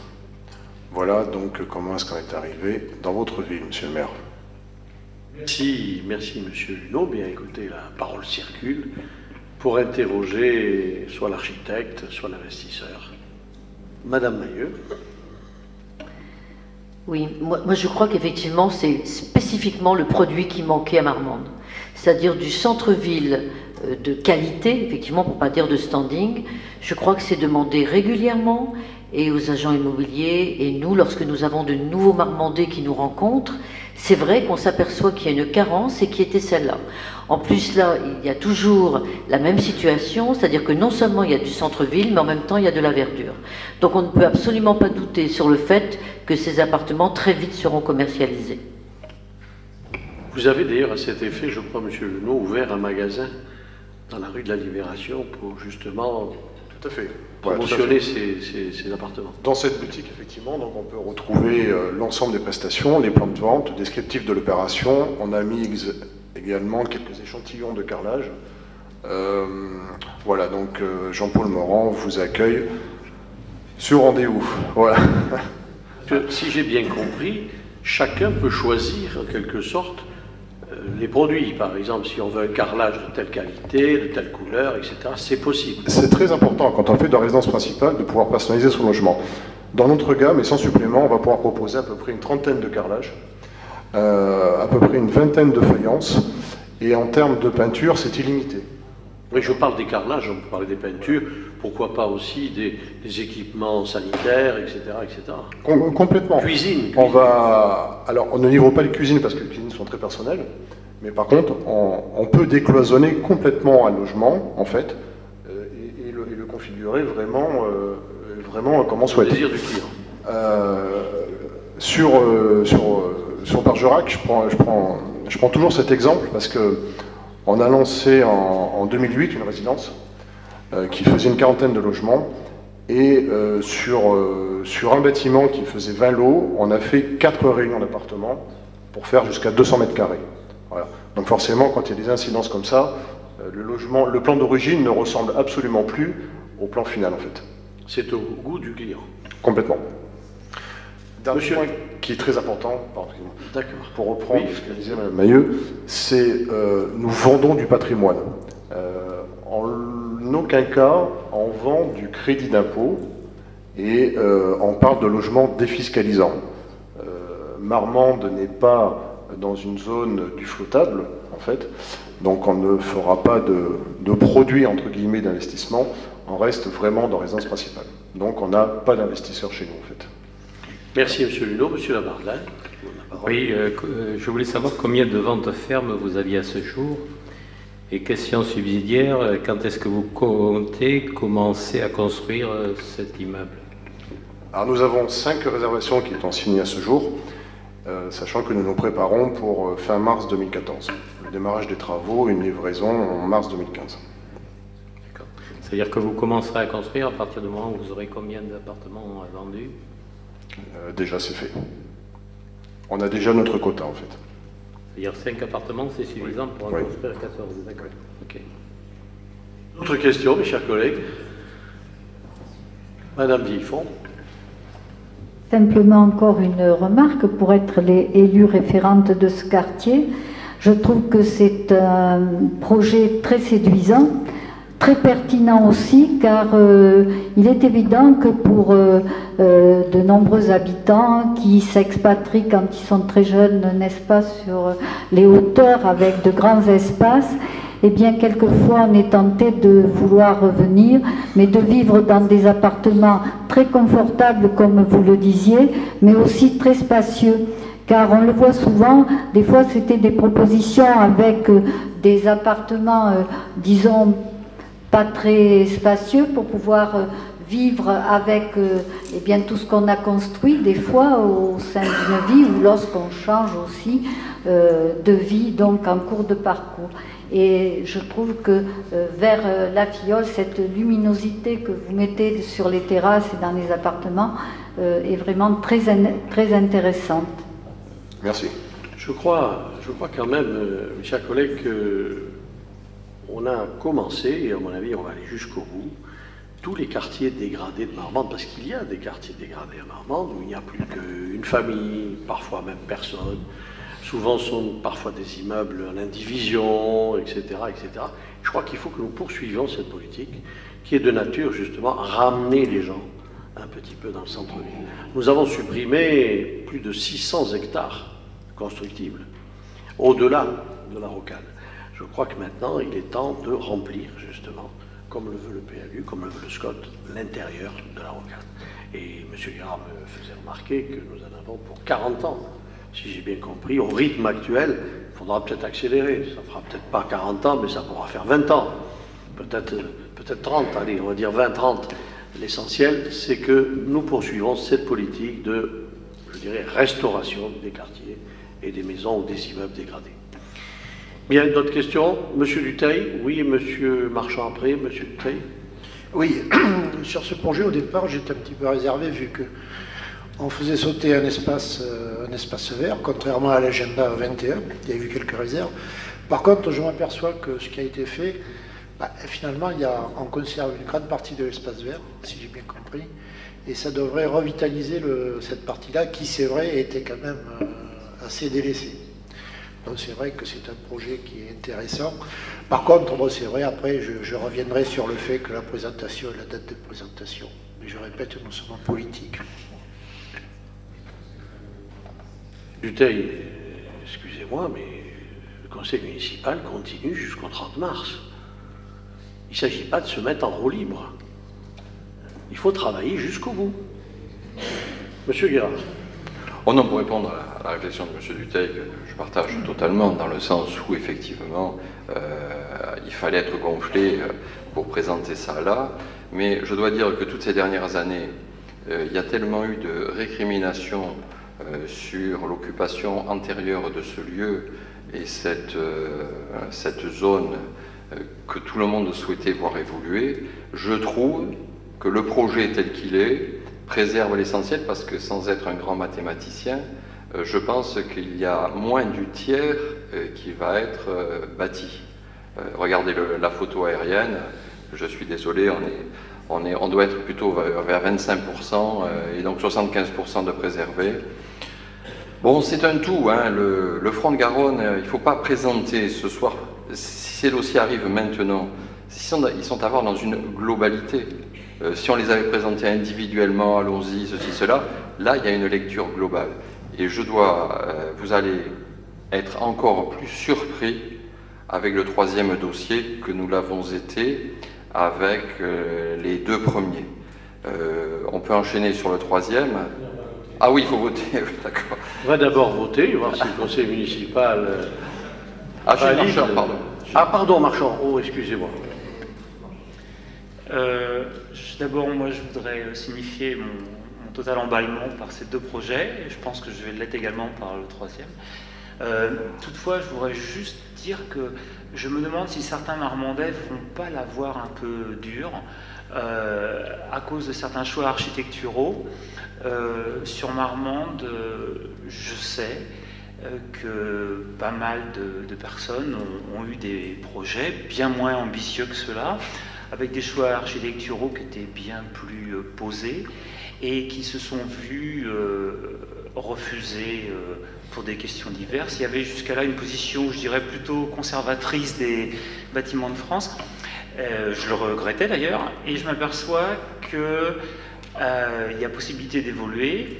Je m'en réjouis d'une part, Et je regrette que d'autres projets, encore une fois moins ambitieux, n'aient pas eu la possibilité de, s'exprimer aussi par le passé. Madame Normand? Oui, merci Monsieur le maire. Justement pour féliciter nos architectes de, de l'originalité et de la référence artistique de, de, ce projet qui, pour ma part, pour ma part, je trouve que pour Marmande, c'est une très très belle chose. Donc je voulais les féliciter. En plus, je pense que ça sera un moyen, une transition, c'est-à-dire qu'avant d'aller dans le bâtiment à côté, on pourra peut-être euh, avoir l'appartement là et terminer peut-être après dans le, la résidence à côté. Voilà. Je disais ça aussi pour notre ami. La dernière, c'est pas trace. Hein. Elle, est, ah, toute neuve. non, pas trace pour plus tard. Non, mais moi, j'ai déjà ma résidence prévue pas. C'était pour Jean-Paul, justement, que je disais ça. Tu vois, il y a quand même euh, une alternative. En tous les cas, félicitations à nos architectes pour ce très beau projet. Merci de votre humour, Madame Normand. Bien, mes chers collègues, nous passons au vote. Alors, quels sont ceux qui sont pour ce projet? Quels sont ceux qui sont contre ce projet? Quels sont ceux qui s'abstiennent? Quels sont ceux qui refusent de voter? C'est les 3, 4, 5 Bien, comme tout à l'heure. Refuser de voter. Très bien. Nous passons maintenant au troisième. Euh, on refuse, monsieur le maire, on ne refuse pas de voter. On a déjà voté ce projet. Mais quand nous avons voté ce projet? Eh ben, écoute, ça Écoutez, ça a été présenté au conseil municipal déjà. On n'a jamais présenté de Garonne comme ça. Allez, nous passons au troisième. Monsieur Guérard. Vous commencez. Bien, alors, euh, mes, chers collègues, mesdames et messieurs, euh, accrochez-vous. Accrochez-vous parce que vous allez voir euh, l'œuvre d'une jeune équipe d'architectes sous le haut patronage de M. Loisier, ici présent, qui, d'après ce que j'ai cru savoir, avec un travail en étroite collaboration avec Madame l'architecte ici présente, va nous présenter un projet qui sera un projet de référence pour l'Aquitaine pour le moins, de ce que l'on peut faire réfléchir et penser dans un quartier protégé. Euh, je dois dire que nous avons vu phosphorer M. Loisier en direct. Euh, il est particulièrement impressionnant. Et je dois dire que ce qu'il va vous présenter maintenant, eh bien, sans faire de forfanterie ou, de tartarinade, euh, là, c'est la Villette à l'échelle marmandaise dans l'heure euh, de l'implantation au centre d'un quartier protégé. Vous allez voir ce que nous propose M. Loisier. Je suis déjà sûr que ça ne fera pas l'unanimité, mais ce n'est pas grave, ça fera l'unanimité avec le temps. Monsieur, monsieur, je préfère les capucins que la Villette. Voilà. Bien, monsieur l'architecte, à vous d'ouvrir le feu.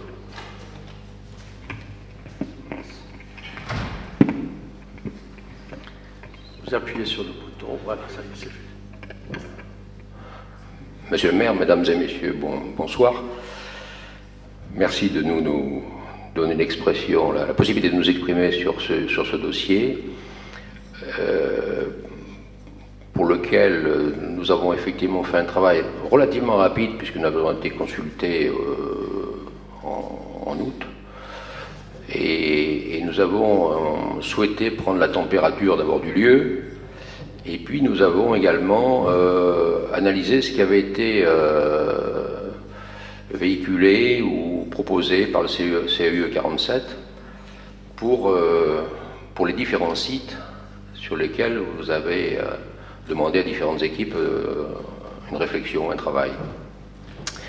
Et donc nous avons retenu en particulier euh, ce souhait de, ramener une population à l'intérieur de la ville et en même temps profiter euh, de ce choix pour requalifier des, logements vétustes ou des espaces publics. Alors l'îlot des Capucins sur lequel nous intervenons euh, essaie de rentrer dans cette, dans cette logique. Et dans le document du CAUE 47, et dans les différentes conversations que nous avons pu avoir avec la collectivité, nous avons retenu un élément, je dirais générique, qui, englobe euh, beaucoup d'autres souhaits, qui était de habiter autrement. Et nous allons essayer de vous démontrer ce soir que notre proposition architecturale euh, est en lien direct avec un projet d'urbanisme, mais également avec un projet social et avec un souci de faire une proposition architecturale et d'aménagement euh, d'un îlot euh, permettant d'habiter autrement. Alors je vais, être bref sur, euh, sur la logique de l'analyse, puisqu'elle a déjà été faite précédemment par nos confrères. Vous connaissez parfaitement l'îlot, on va être relativement bref. Nous intervenons donc sur un des cinq sites. Voilà le contexte urbain, avec les points de vue qui sont, connus de tous et qui seront mis en scène. Le territoire d'emprise, qui est débordé par euh, donc les, trois rues que vous connaissez. Une caractéristique commune entre ce site et les, sites précédents, c'est la topographie du lieu, avec une forte déclivité, puisqu'on a 3 mètres de dénivelé entre euh, la partie euh, nord, la rue de Tourat, et le balcon des Capucins. Voilà donc le long de la rue de l'Observance. La zone sur laquelle nous intervenons est déjà partiellement construite. Donc, euh, il y a eu un petit inventaire de faits, un inventaire relativement simple de ce qui était intéressant sur le plan vocabulaire architectural et de ce qui était superflu. je pense qu'il ne faut pas hésiter à démolir tout ce qui ne présente pas un intérêt architectural noble. Voilà. Donc, vous avez le bâtiment euh, de la mission locale, c'est un bâtiment 18e qui, lui, nécessite d'être sauvegardé, et je dirais même mis en valeur par une confrontation euh, contemporaine des autres, des futures constructions, et puis les bâtiments qui sont à démolir, qui sont restaurants du cœur, et les anciennes salles de classe que vous voyez en long, qui viennent se terminer, qui viennent percuter la rue du Tourat. Voilà donc, rapidement, quelques photos pour remémorer euh, les principes euh, de volumétrie actuelle que nous allons confronter avec nos propositions architecturales, pas à pas. Voilà, donc je reviens sur, euh, l'emprise du terrain. Vous voyez la, topographie, les dénivelés. Le côté euh, patrimonial du bâtiment 18e, qui a une cour qui a, du charme. Voilà. Et donc, sur cette topographie, euh, notre première intention a été de créer un plateau, un socle, qui va nous permettre de de proposer une architecture qui vienne cadrer, la, qui vienne se, caler, s'immiscer, si vous voulez, en, front au niveau des, rues périphériques. Je dis dans la partie contemporaine. Nous allons voir après dans la partie ancienne comment, on propose les choses. Donc sur ce socle, dans ce socle, nous allons venir euh, intégrer d'une façon euh, subtile, en douceur. Vous voyez la trace d'une porte de parking qui vient s'intégrer dans ce socle. Nous allons intégrer un parking souterrain pour 42 places qui vont être affectées au logement de la partie contemporaine, la partie neuve. Euh, à l'opposé, nous le verrons tout à l'heure, nous avons euh, intégré 10 stationnements euh, dans des garages individuels qui viennent se caler en extrémité du transfo, du transformateur que vous connaissez sur le, plateau. Voilà. Alors là, quelques photos euh, quelques photos qui ne sont pas des réalisations de, notre agence, mais qui sont des réalisations euh, internationales relativement connues et qui permettent de, déjà d'apprécier quels sont les rapports de matériaux possibles entre un socle, une surélévation, des percements, quel est le vocabulaire, si vous voulez, vers lequel nous, nous allons probablement tendre dans notre proposition. Alors je reviens sur le, sur le plateau. Vous voyez déjà les, emmarchements. On comprend quelle est la, difficulté, si vous voulez, de l'aménagement de cette zone, puisque le dénivelé et les règles d'accessibilité ne permettent pas euh, énormément de fantaisie, ou, du moins euh, nécessitent un travail subtil au niveau des cheminements et des jardins. Voilà, donc notre proposition euh, volumétrique se développe de cette façon, avec un calage le long de la rue de Tourat, un retrait des bâtiments le long euh, de la rue de l'Observance pour permettre d'abord une distance par rapport aux maisons qui sont en face et en même temps l'intégration de, de jardins privatifs urbains, c'est-à-dire qui vont être visibles depuis la rue de l'Observance. À l'opposé, on voit apparaître les garages qui sont derrière le transfo. Voilà la volumétrie. Et maintenant, cette volumétrie, donc, euh, au niveau en particulier des, toitures, euh, peut s'identifier à quelques exemples contemporains que l'on a, sélectionnés. Alors, euh, ce que l'on a voulu montrer, c'est qu'on souhaite un projet minimaliste, d'une part, on souhaite un projet qui soit sculpté, donc qui soit taillé dans la matière, et on souhaite un projet où il y ait une, continuité entre la façade et la toiture. C'est ce vocabulaire que vous allez découvrir au fur et à mesure des, vues euh, suivantes.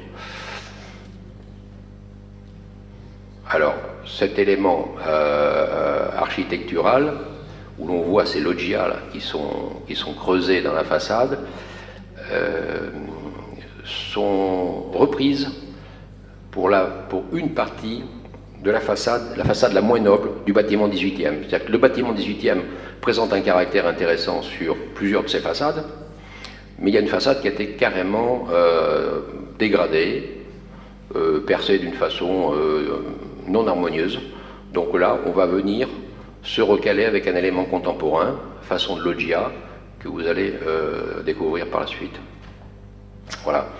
Alors, tout à l'heure, on a parlé donc du socle, on a parlé de la façade et des toitures.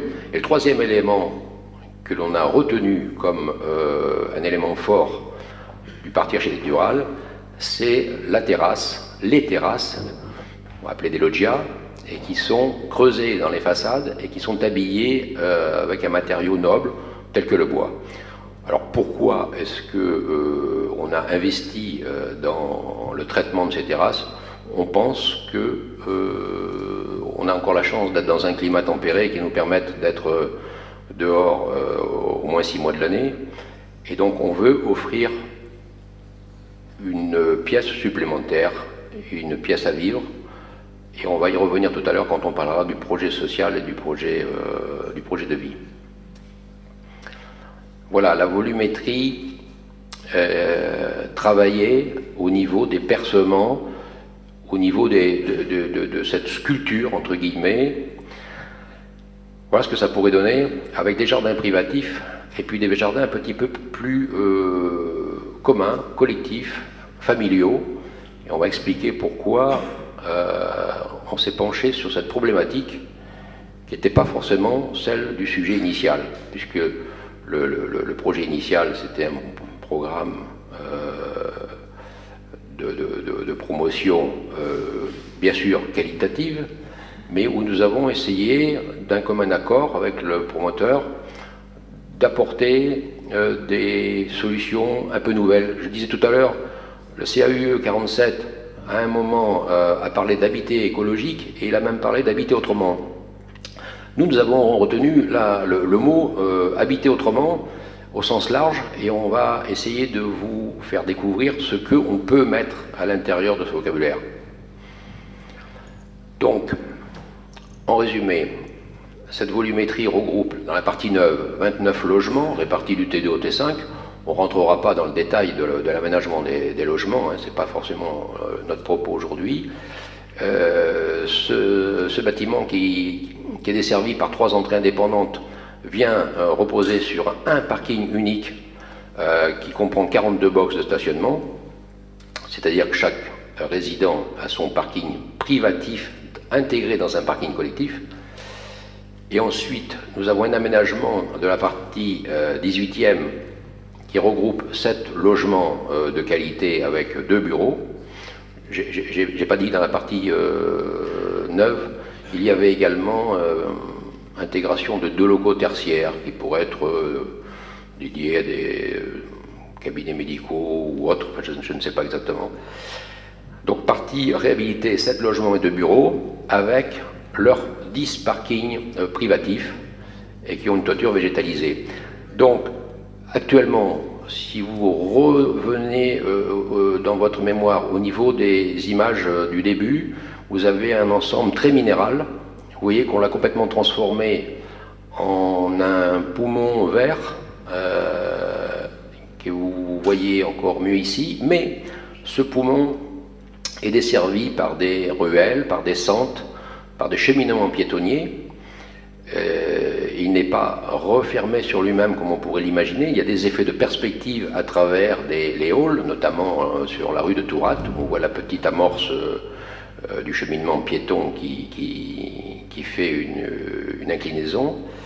Et puis vous voyez des petites, euh, des petites pastilles blanches euh, dans l'angle nord, dans la zone que l'on a démolie, et qui là sont l'amorce euh, d'éléments potagers, familiaux, d'éléments de jardins partagés.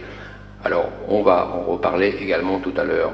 Donc je reviens sur le traitement du projet par rapport à ces notions de mur, de soutènement, de socle et de topographie du site. Voilà. Donc on va faire une comparaison, si vous voulez, entre avant, après, d'une façon un peu systématique sur différents points de vue pour que vous ayez tout de suite euh, la notion de ce que l'on va proposer.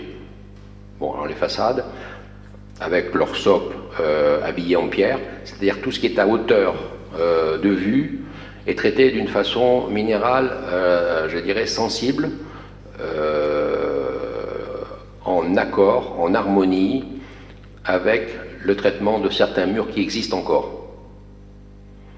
Voilà, la rue d'Observance. La rue de Tourat, avant, après, avec donc deux entrées d'immeubles sur cette rue.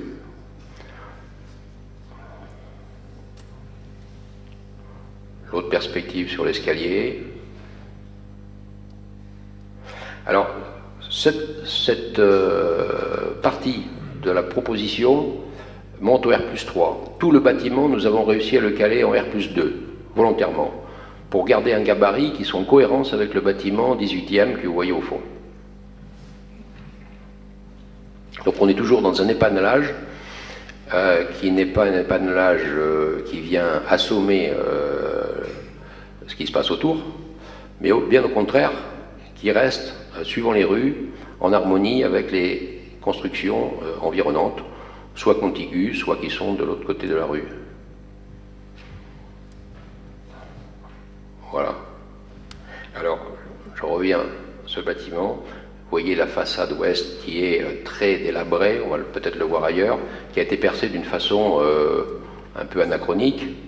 Et donc là, il y aura un très très gros travail pour remettre euh, ces percements dans un vocabulaire architectural qui pourrait avoir existé.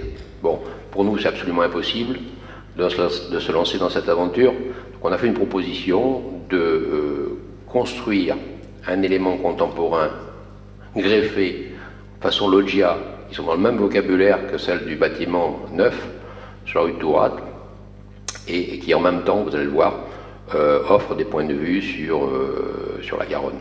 Voilà, la greffe que vous voyez sur la partie gauche du bâtiment 18e, sachant que l'autre morceau du bâtiment n'est absolument pas touché. Vous voyez, je disais qu'il était dégradé, je crois qu'on ne peut pas faire plus. Hein, euh. donc pour rectifier une de telles ouvertures euh, sans, connaître la trace initiale, c'est vraiment euh, un enjeu qui, n'apporterait pas grand-chose. Voilà, je passe assez vite pour qu'on ait un peu de temps pour discuter. Voilà l'état des lieux. Voilà le projet. C'est donc cette la première image qu'on vous a présentée avec son entrée de parking. Et quelques points de vue depuis les terrasses de cette nouvelle loggia, avec les terrasses végétalisées des garages et la vue sur le pont. Voilà le plan masse euh, et le plan du rez-de-chaussée, sachant que les différents niveaux sont, sont à peu près identiques. Donc là, on voit bien l'esprit de la sculpture, de la, des excavations que l'on a pu faire à travers la façade, c'est-à-dire que c'est un monolithe, si vous voulez, euh, qui a été euh, évidé partiellement pour en créer des, pièces à vivre. Tout ce que vous voyez en teinte brune donc sera habillé en, bois ou en plaquage de bois. L'intérieur de l'îlot, avec la sente, vous, voyez le point de vue avec la petite flèche rouge. Hein. Ce, sont, des jardins privatifs alors, il y a de tout. Il y a des jardins privatifs et des jardins collectifs.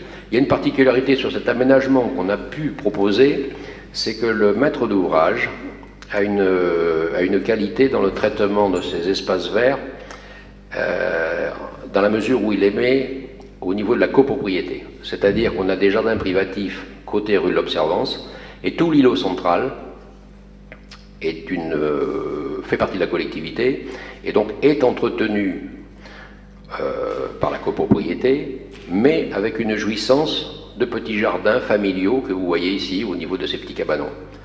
Voilà, alors si vous voulez, je propose de terminer sur cette image. Vous allez vous dire, mais on a fait venir des architectes pour nous faire un projet euh, d'urbanisme et un projet d'architecture euh, dans un lieu qui est dans un site qui, a une histoire, qui mérite une réflexion, et ils nous proposent des cabanons de, de jardins pour en faire des potagers ou des jardins partagés.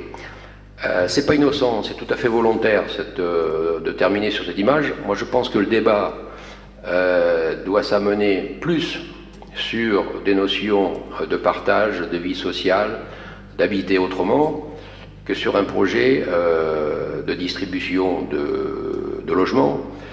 Et en fait, ça, ça a été notre volonté. Si on a pu aller jusqu'ici, c'est qu'on a senti que, je pense, la collectivité était intéressé pour euh, faire un projet fort, un projet nouveau. Je pense que le mode d'habiter va, évoluer pour, tout le monde. Que demandent les utilisateurs aujourd'hui quand on discute avec eux Enfin, les utilisateurs, les, les, acheteurs, les acquéreurs potentiels? Ils nous demandent si on a un petit programme à leur proposer, c'est-à-dire qu'ils ne veulent pas être dans une grande résidence. Ils nous demandent si c'est euh, sécurisé. Ils nous demandent s'ils ont des hauteurs sous plafond importantes. C'est le cas, puisqu'on a proposé des hauteurs de de 2,75 m au lieu de 2,50 m. Et ils nous demandent si on a des terrasses à leur offrir plutôt que des balcons où on ne peut rien faire. Voilà, donc plus des zones où ils pourraient éventuellement euh, euh, créer un atelier ou faire un cellier complémentaire. C'est ce qu'on a proposé dans les parkings individualisés qui sont des box fermés, indépendants. Vous voyez, tous ces éléments-là sont des éléments de bon sens. On n'a rien inventé, sauf qu'on a trouvé une collectivité qui semble euh, vouloir aller plus loin qu'un projet euh, de promoteur, et on est, tombé avec M. Luneau, que l'on connaît déjà depuis pas mal de temps, et qui a joué le jeu euh, pour dire, eh ben, effectivement, on va, on va aller plus loin, on va vous suivre. Et alors, il y a quelqu'un que j'ai oublié, je n'ai pas oublié, mais j'en parlais en dernier, c'est l'architecte, notre consoeur des bâtiments de France, parce que, très honnêtement, faire une proposition comme ça euh, dans cet îlot, il est évident que seul, même si on a euh, des propositions à vous faire, euh, on ne peut jamais aller aussi loin. Donc ce projet doit fédérer de nouvelles actions, de nouvelles réactions même, je n'ai pas parlé des petits potagers qui sont sur les toitures. On imagine parfaitement la qualité de vie qui pourrait euh, exister dans ce lieu, qui ne doit pas être un lieu refermé sur lui-même. Je pense que les enfants, les petits-enfants peuvent venir euh, jardiner, trouver les parents, les grands-parents. Il doit y avoir une osmose qui se passe. Si vous voulez, la réussite de ce projet pour nous serait que l'on puisse dire, eh bien, on habite dans la, au Capucin et, on y est bien, mais aussi surtout, on a envie de le faire découvrir. C'est-à-dire qu'on n'est pas refermé sur soi-même. Euh, on a envie de dire, à Marmande, ils ont fait un coup, ils ont fait une expérience, c'est peut-être le départ d'une nouvelle façon de vivre. Voilà. Merci beaucoup, merci beaucoup, M. architecte. On va mettre la lumière. Je crois que vous nous avez fait un petit retour en arrière. Là. Je, sentais phalanstère de, Fourier, euh, euh, inexistable, qui, fonctionne.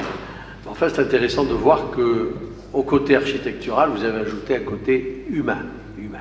Alors, avant de donner la parole à M. Lulot, parce qu'on a plein de questions à lui poser, je voudrais que Mme l'architecte du bâtiment de France, qui a dans ce dossier beaucoup travaillé aussi, puisse nous donner son sentiment. Parce qu'incontestablement, la Marmande ose.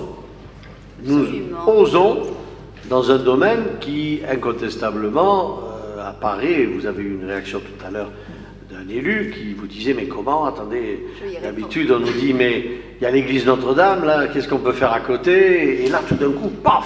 On arrive en plein 21e siècle ce qui est normal parce que je pense que dans une ville il faut surtout pas mettre les villes sous cloche.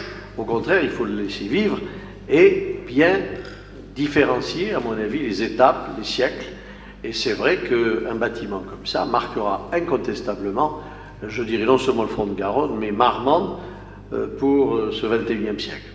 Madame l'architecte des bâtiments de France, vous avez la parole. Euh, oui, tout d'abord, je pense que vous l'avez tous compris à travers les propos de M. Loisy, c'est un projet excessivement sensible. Après, donc, il parle à la fois de.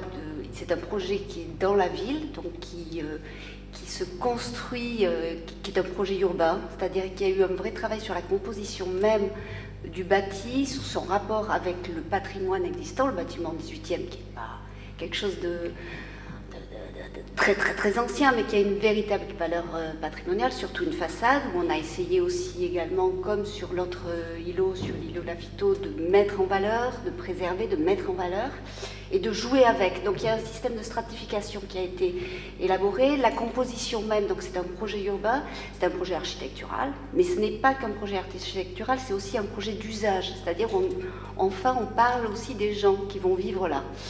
Euh, d'un point de vue purement euh, plastique et formel, effectivement, c'est un projet qui, euh, qui a un vrai parti.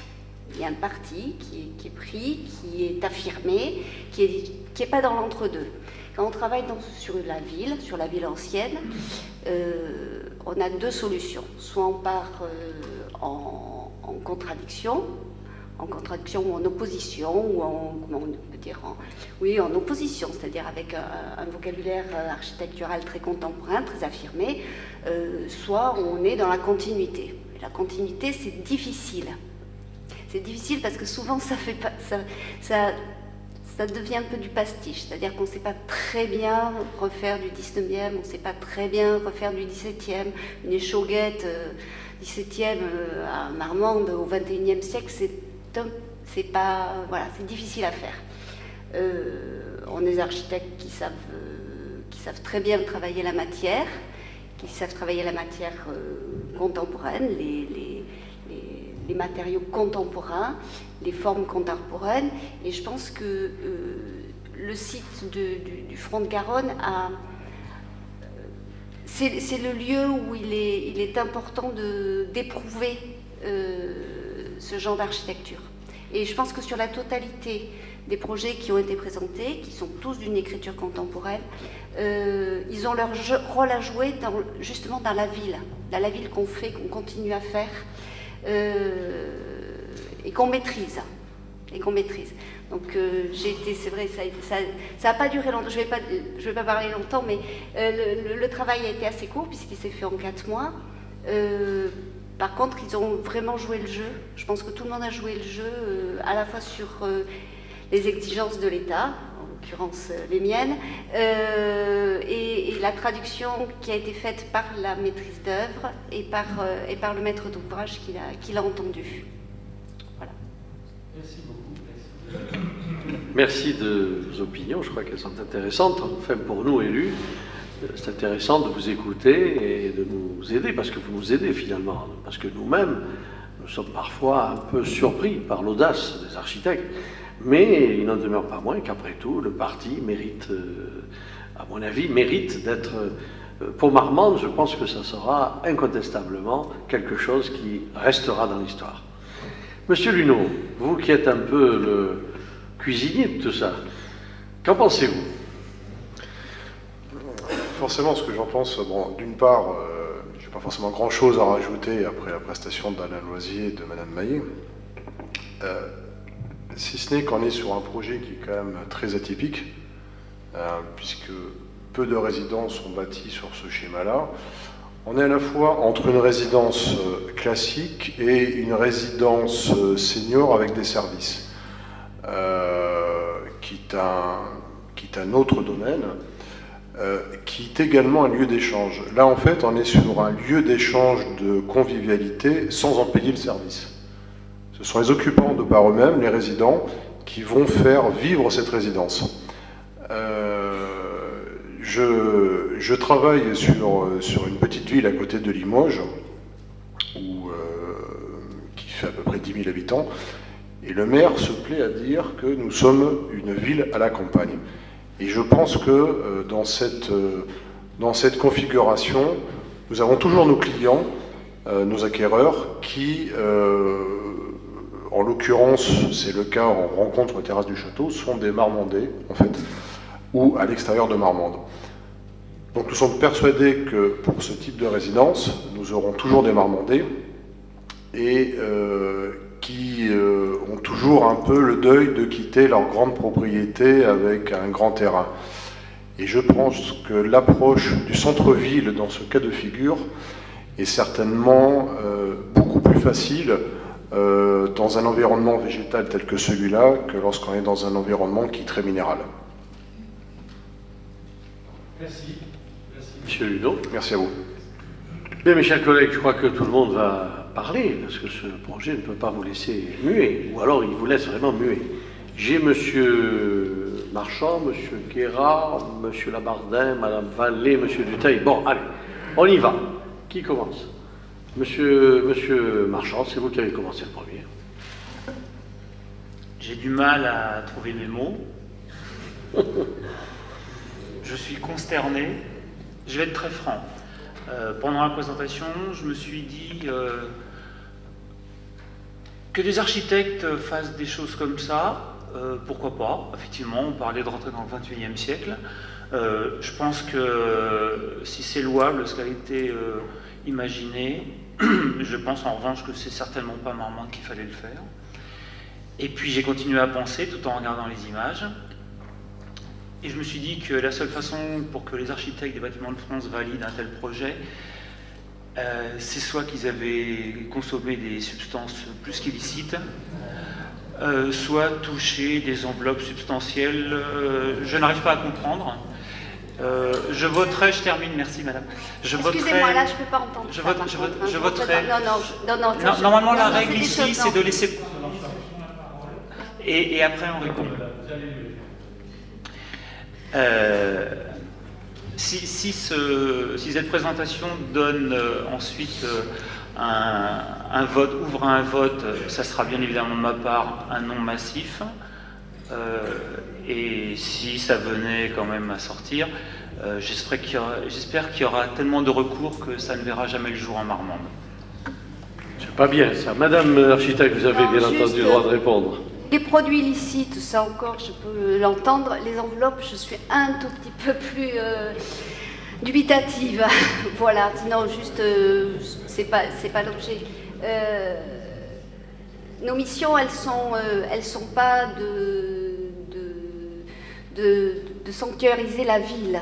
Les missions de l'architecte des bâtiments de France ne sont pas celles de sanctuariser la ville et de ne rien faire ou de faire comme c'était au 18e, au 19e et de faire du pastiche.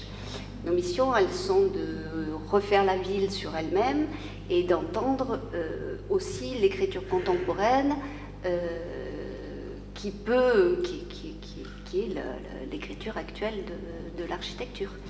Et c'est un exemple qui est assez euh, remarquable, le cas présent, je l'ai déjà dit, et j'ai pas été payée, je vous le jure ni par les élus, ni par les architectes, ni par le maître d'œuvre. Voilà, je n'ai aucun intérêt, aucun. Euh, voilà, c'est un exemple qui est assez remarquable parce que je disais c'est à la fois un projet urbain, c'est un projet architectural et c'est un projet social, c'est un projet d'usage. Voilà. Je pense, madame, je pense, madame, que la réflexion de M. Marchand était maladroitement, je dirais, dite. Monsieur Gard. Tout le monde, euh, la parole est libre. Mais il y a des moments où la parole mériterait d'être mieux réfléchie. Euh, il ne faut pas faire, euh, Monsieur Marchand, d'une expérience qui vous est personnelle par rapport à une relation bilatérale avec l'ABF, une euh, jurisprudence. euh, et je suis profondément consterné de ce que vous venez de dire. Consterné pourquoi? Je l'avais dit dans mon propos introductif. Ce projet, je le trouve, à titre personnel, totalement extraordinaire, au sens propre du terme, hors de l'ordinaire. Et là, nous n'avions pas droit à la médiocratie. Nous étions obligés d'apporter un plein et entier soutien, non seulement à une réflexion, mais à un projet. Il ne s'agit pas de construire du mètre carré, il s'agit de construire un lieu où les gens vont vivre d'une façon conviviale et sociale. C'est repenser la ville comme jamais elle n'a été pensée. C'est-à-dire avoir et rencontrer des gens qui vont être heureux de revenir là. Là, c'est où? C'est dans le prolongement direct du parc de la Fiole. S'il n'y avait pas eu le parc de la Fiole, avec cette occupation progressive des Marmandais, des mères de famille, des enfants, de la vie, personne ne se serait intéressé au front de Garonne. Et nous aurions eu peut-être des dossiers où on aurait proposé du mètre carré administratif qui à 21h ou du moins à 18h30 le soir, voire 17h et le week-end, il n'y aurait eu personne. Alors, dans le langage architectural, quand on a la chance d'avoir une signature de l'architecture française, et je vais défendre, je vais vous le dire, Monsieur Loisier, c'est comme si vous aviez en face de vous Beaufil. Et effectivement, quand Beaufil présentait des dossiers, il en prenait plein la gueule. Et c'était tant mieux, il le souhaitait. N'empêche que après, avec le temps, ce sont des choses qui sont venues à être une pertinence absolue et être avant-gardistes.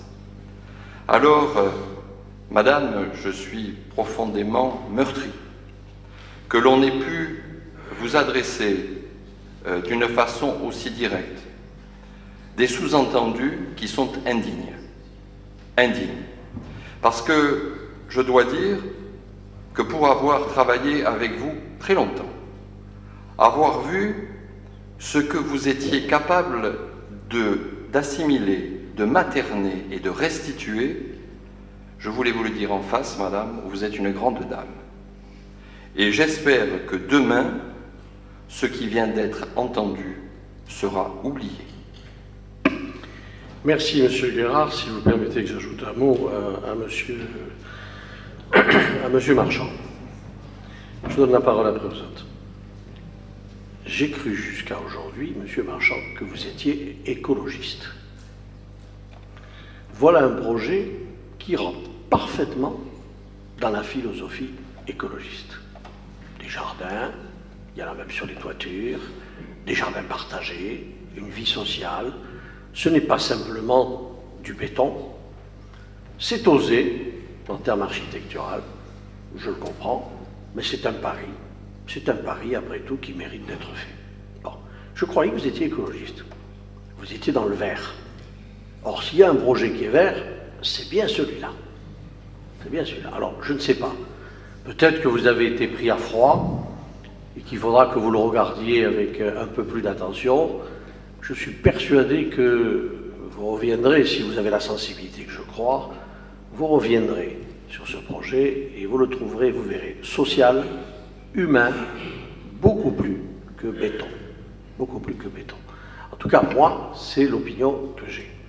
Vous savez, je crois qu'il faut penser que Marmande est une ville qui ne doit pas être tournée vers le passé. Il faut qu'elle regarde l'avenir. Et l'avenir nous, nous, nous, échappe. Nous-mêmes, nous n'avons pas aujourd'hui une vision de l'esthétique du 21e siècle ou de la fin du 21e siècle. On ne le sait pas. Ce sont les architectes qui travaillent et qui, petit à petit, font en sorte que, quelque part, eh bien, nous avançons. Nous avançons vers, l'avenir. Je crois que c'est comme ça qu'il faut comprendre et voir les choses. Maintenant, j'ai cru comprendre que vous étiez meurtri aussi parce que, il faudra régler le problème. Je crois que vous avez dû refuser un volet bleu à monsieur, à monsieur Marchand et il a une dent contre euh, l'architecte des bâtiments de France qui lui a refusé ce volet bleu, enfin bleu ou violet ou vert, je ne sais pas. Il doit y avoir un truc de ce genre. Mais je suis persuadé, le connaissant, s'il est vraiment écologiste, un projet comme ça, au contraire, s'il y en a un qui devrait être le seul à le voter, c'est bien lui. Monsieur Silière. Oui, je voulais dire un mot sur ce petit incident quand même. Euh, je pense qu'en matière d'art, on, a tous le droit d'avoir son opinion. Euh, il n'empêche qu'ici, on, représente la, population. Donc, quelque part, euh, ça ne nous permet pas de suspecter des gens de, quelconque malversation ou autres accusations. Donc, moi, je souhaiterais que sur ces propos-là, euh, Monsieur Marchand les, retire, pas sur le fait qu'il n'aime pas, ça tout le monde a le droit, mais sur, sur ce qu'il a dit à Madame l'architecte des bâtiments de France, je souhaiterais qu'il retire cette partie des propos qui mettaient son intégrité en doute. Allez, puis Monsieur Labardin, puis Monsieur Dutheil, puis Madame Vieillefond après. Juste une intervention moins lyrique que celle de Jean Guérard, et je dirais pour le moins plus respectueuse des usages et des lois que celle de Monsieur Marchand. Euh, ce projet que vous avez présenté est intéressant, mais permettez-nous quand même d'émettre, d'avoir quelques doutes ou de poser quelques questions, parce que ce n'est pas le premier que nous voyons là-bas. Euh, nous avons déjà vu valider des projets aussi concernant donc, le précédent projet CFA Atlantique. On a déjà délibéré en ce sens.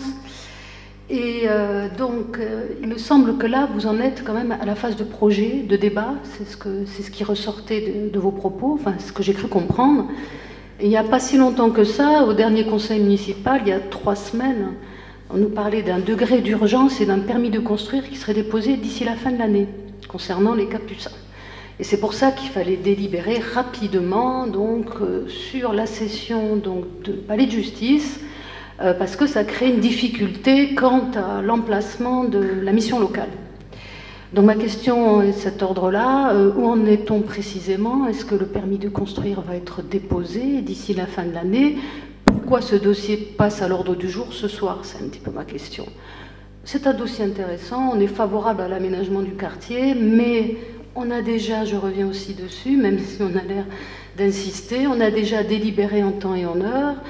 Euh, donc voilà, j'aurais aimé avoir plus de précisions sur ce qui nous a été dit par Monsieur le maire. Euh, il n'y a pas plus tard qu'il y a trois semaines, urgence, urgence, le dépôt du permis de construire sera déposé avant la fin de l'année. Merci.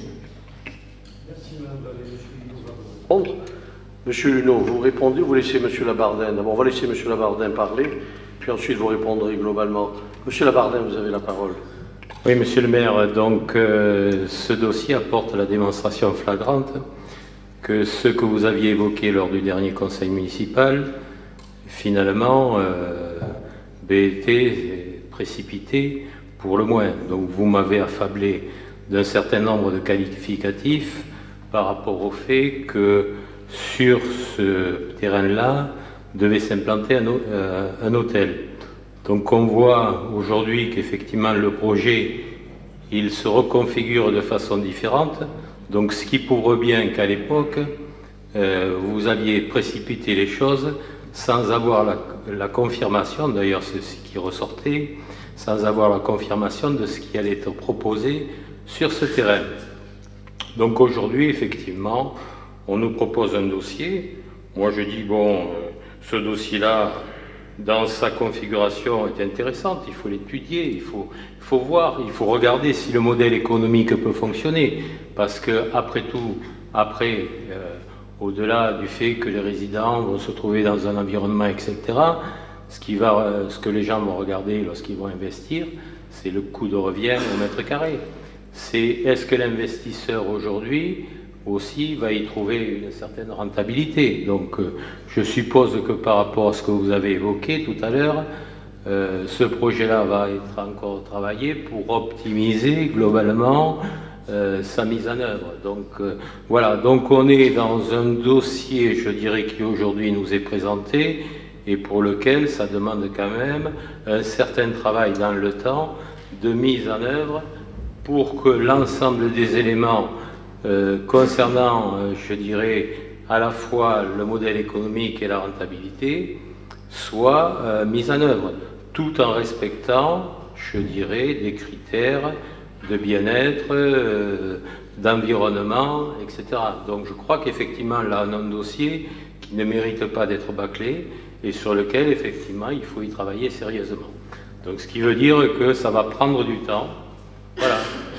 Donc euh, je reviens encore une fois sur ce, que, sur ce dernier conseil municipal qui a été relativement houleux et pour lequel je me suis fait traiter un peu de tout. Alors je vois qu'aujourd'hui, effectivement, on est sur des choses qui diffèrent par rapport à ce qu'on nous a présenté il y a trois semaines de ça. Voilà, je voulais le signaler parce que euh, le professionnel, je me demande qui c'est. Moi, je pense que je suis professionnel. Voilà. J'ai l'impression que vous êtes plus que professionnel. Vous êtes devenu le comptable de M. Luneau. Alors écoutez, moi je crois que la meilleure façon, c'est de donner la parole à M. Luneau. Il va vous répondre à plusieurs questions que vous avez posées. Premièrement, M. Luneau, allez-vous déposer le permis de construire avant la fin de l'année? Oui. Attendez, vous allez répondre. Deuxièmement, M. Luneau, à partir de quel moment vous allez avoir besoin, par conséquent, qu'on libère les locaux? Vous avez la parole, M. Luneau. Merci, M. le maire. Alors en fait, nous sommes calés donc, pour effectivement déposer un permis à la fin de l'année. Euh, ça, se sera, ça se sera acté, euh, nous de notre côté. Euh, par rapport au timing, donc, il y a deux timings. Il y a en fait le timing financier que nous sommes en train de mettre en place pour connaître à la fois le prix de vente final des logements dont on a une fourchette et connaître aussi le coût du fonctionnement euh, de ce type de résidence. Et euh, sur, sur le, planning technique, euh, nous sommes calés pour, un, pour un démarrage des travaux au troisième trimestre ou quatrième trimestre de l'année prochaine, ce qui nécessiterait de commencer la démolition des bâtiments. tout dépend de l'obtention du permis, bien sûr, mais soit au mois de juillet, soit au mois de septembre. Merci, Monsieur Luneau, d'avoir ainsi bien démontré. Vous permettez, Monsieur Labardin Allez-y. Merci, Monsieur Luneau, d'avoir dit à Monsieur Labardin qu'il se trompait. Et je suis modéré dans le qualificatif, dans, le verbe. Il se trompait quand il essayait de faire croire à cette Assemblée, et au-delà, à la ville de Marmande, que nous étions dans l'erreur, dans le faux, lorsque nous disions qu'il y avait urgence à déménager la mission locale. Il faut que la mission locale quitte les lieux, si ce n'est pas en juillet, au mieux en septembre, par conséquent 2014. D'où la nécessité de la recaser, d'où la nécessité par conséquent pour VGA d'aller se retrouver au tribunal. Voilà quelque chose que M. Labardin ne comprend pas, et ses amis non plus, ou plus exactement ne veulent pas comprendre, pour d'autres raisons cachées qui ne sont pas dites. Voilà la vérité. Alors je suis très content que M. Luneau vous ait, M. Labardin, donné une leçon de vérité. Voilà. Alors je vous pouvez me répondre. Vous pouvez. Je peux répondre. Euh, je ne suis pas tout à fait euh, satisfait de la réponse de M. Luneau. Ah parce qu'en oui, oui, tout à fait. Parce qu'en fait, quand il vous, ce monsieur vous dit euh, qu'en fait aujourd'hui c'est pas trop euh, combien cet, immeuble-là va coûter, qu'il y a des arbitrages à faire, etc. Attendez, je crois qu'un promoteur quand il s'engage quelque part, il a un projet validé, il sait quelle est la finalité et combien il va pouvoir commercialiser ses appartements. De plus, compte tenu du nombre d'appartements, croyez-vous qu'il va démarrer la vente de ces appartements à partir du moment où effectivement, un certain nombre ne seront pas vendus. Donc il faut qu'il y ait un certain nombre d'appartements qui soient vendus. Moi, je prends date par rapport à ce que vous évoquez. Je prends date parce que je crois que là, euh, en fait, il y a une opération de communication par rapport à ça et qu'on verra bien dans le temps qui a raison.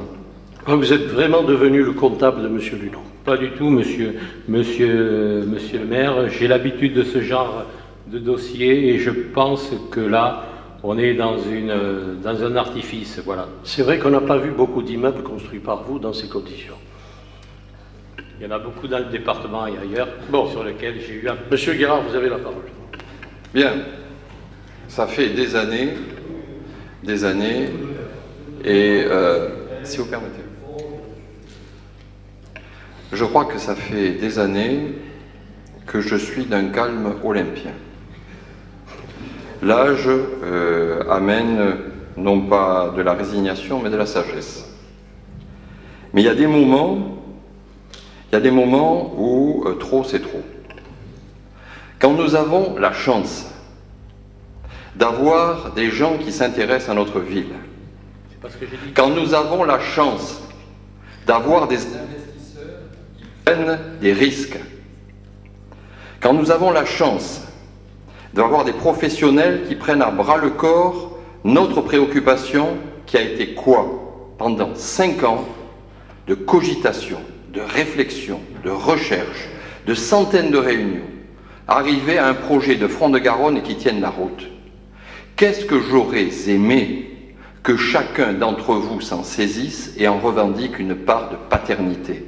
Ça aurait été quand même autre chose pour notre ville que sur un tel projet, qui est un projet urbain, social, économique, arriver à donner l'impression que nous hésitons quand quelqu'un vient dans nos murs et nous commençons à les regarder sous la carpette si le ménage a été bien fait. Je prendrai qu'un exemple. L'hôtel. Oui, j'ai dit ce qui a été vrai dans cet hémicycle, dans cette assemblée. J'ai dit qu'il y avait une hypothèse d'un hôtel. Et je peux parler sous le contrôle des personnes qui ont assisté aux différents débats qui ont suivi.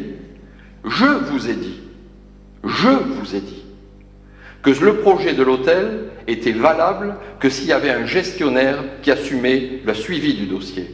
Et quand il y a eu la discussion sur le permis de construire, j'ai dit au porteur de projet, Monsieur Luneau, je lui ai dit, écoutez, on ne va pas se lancer dans un projet avec une hypothèque, avec une échéance à plusieurs mois, qui remettrait potentiellement en cause l'étude qui va être présentée aujourd'hui. Il avait été dit que s'il n'y avait pas de certitude, on glisserait, on roquerait comme aux échecs en disant le bâtiment 18e deviendra des appartements. Et cette réunion a eu lieu, et j'ai dit à cette réunion, les gens qui ont assisté l'ont entendu, j'ai dit écoutez, l'hôtel, aujourd'hui, il n'y a pas le gestionnaire, il n'y a que l'investisseur, ce n'est pas crédible pour qu'on puisse présenter utilement un projet globalisé de front de, Garonne, qui est une fin d'un chantier gigantesque. Alors, dire que M. Luneau bâcle ses dossiers. J'ai entendu les mêmes réflexions faites sur le square. Qu'en est-il du devenir de cette opération? Se fera-t-elle? Arrivera-t-il à vendre les appartements? J'ai appris des choses dans l'immobilier. Ce n'est pas au nombre d'appartements que cela se fait, c'est la manne financière recueillie dans le début du projet immobilier, dans la mesure où certains lots valent plus cher que d'autres. Et quand il faut atteindre les 40%, ça ne veut pas dire 40% d'appartements vendus, ça veut dire 40% de la puissance financière de l'opération. Bien. Mais je peux vous dire que l'îlot Capucin, sans être Grand Clair ni Madame Soleil, va suivre de la même façon que le square. Parce que je reçois les gens qui me demandent, qui demandent, mais qu'est-ce que vous attendez pour faire ceci ou pour faire cela? Vous arrivez dans cette situation où au lieu de vous féliciter, prenons le pari sur l'avenir collégialement, tous ensemble, disons oui, bah écoutez, il peut y avoir des échéances municipales dans trois mois, mais on est là sur autre chose qu'une échéance électorale. On est là sur le devenir d'une ville et montrer du doigt la suspicion, le yaka, le faucon, ça n'a pas lieu d'être aujourd'hui. Ça n'a pas lieu d'être. Je vous assure que euh, j'aurais aimé, je vais vous faire une confidence. Il y a un appartement qui me faisait rêver. Rêver. Et je me suis interdit d'en déménager. Parce que je serais demain, dans ces circonstances, on dirait, ben Guérard, il a acheté un appartement au front de Garonne. Et dans le droit fil de certaines choses que malheureusement nous avons entendues, il y aurait des gens qui auraient dit, oh, il se les fait offrir. Il n'y a pas de problème. Dans les magouilles, les magouilles avec les promoteurs, c'est bien connu. Ben voilà. Eh ben non. Je rêverais d'aller sur le front de Garonne. Et eh bien même si je faisais une opération transparente, il y aurait des gens qui diraient le contraire. Donc je vous le demande Battons-nous sur autre chose. Affrontons-nous sur des idées. Affrontons-nous sur des dossiers virtuels, mais là on est dans le concret. Et quand vous avez des gens qui viennent ce soir, qui sont un investisseur tel que M. Luneau, qui sont un architecte tel que M. Loisier, qui sont une, ABF comme Madame, bah écoutez, euh, c'est vraiment par moment, pour certains d'entre vous, donner de la confiture au cochon. Merci, M. Guérard, de ces paroles enflammées, mais ô combien réalistes. Permettez, M. Labarde, permettez. Je crois qu'on a compris. Vous êtes pour Marmande d'attente et nous, nous sommes pour Marmande d'avance. Monsieur Duteil, vous avez la parole, vous l'attendez depuis un moment. Oui, je crois que c'est tout à l'honneur des architectes de nous faire rêver. Mais là, on a entendu parler de phalanstère, je crois. On a entendu parler de cuisinier. Marmande de Oz, simplement, ce projet euh, est joli, ça c'est sûr. Euh, par contre, je me pose la question, euh, vu la taille du projet, il y a à peu près une trentaine de logements, vu l'importance des travaux qui, à mon avis, vont être euh, très, très, très, très lourds, est-ce qu'on ne va pas se heurter quand même au niveau du timing financier à un problème sérieux? Alors, moi, je serais assez curieux de connaître exactement le libellé de notre décision, parce que est-ce que Normande est partie prenante Oui, mais est-ce qu'on est partie prenante aussi au niveau financier d'une manière ou d'une autre? Parce que je pense quand même qu'il va y avoir un surcoût sur ce dossier, qui est magnifique, ça je, mais je, crois quand même qu'il va se heurter à des difficultés quand même assez importantes. Monsieur... Et puis, vous savez, le, changement maintenant, c'est déjà difficile, alors changer de vie. Monsieur Duteil, je vais vous rassurer, Monsieur Luneau va nous acheter le terrain, je crois que ça va nous rapporter quelque chose comme autour de 800 000 euros. Voilà. Ça ne va rien nous coûter. Je ne dis pas que les gens qui seront là ne paieront pas aussi des impôts. Bien, monsieur, madame Vieillefond et monsieur Cerruti, monsieur Cerruti, ou madame Vieillefond, comme vous voulez. Allez, madame Vieillefond. Merci, monsieur Cerruti. Oui, bien, moi, quand j'ai écouté euh, donc euh, la présentation de ce projet, pour avoir participé quand même dans les commissions euh, donc, euh, du travail qui a été effectué pendant les cinq années, eh bien je me dis aujourd'hui on passe euh, du rêve à la réalité. Et donc là, c'est vrai que c'est une certaine satisfaction. Mais me serais-je douté à ce moment-là que c'était un tel projet qu'on allait nous présenter? Non, je ne pense pas. Pourtant, dans, le monde que nous vivions, dans lequel nous vivons actuellement, avec les déboires euh, environnementaux, eh bien, je me suis dit en le voyant, tiens, je respire. Vraiment, voir toute cette verdure, cette respiration profonde, en plus, cette vue sur le fleuve, tournée vers la Garonne, vraiment, je me suis sentie bien. Je ne pensais pas avoir euh, ces telles remarques qui m'ont mis un petit peu de, pression, euh, disons un peu euh, désagréable, mais bon, c'est le débat, comme le disait Jean.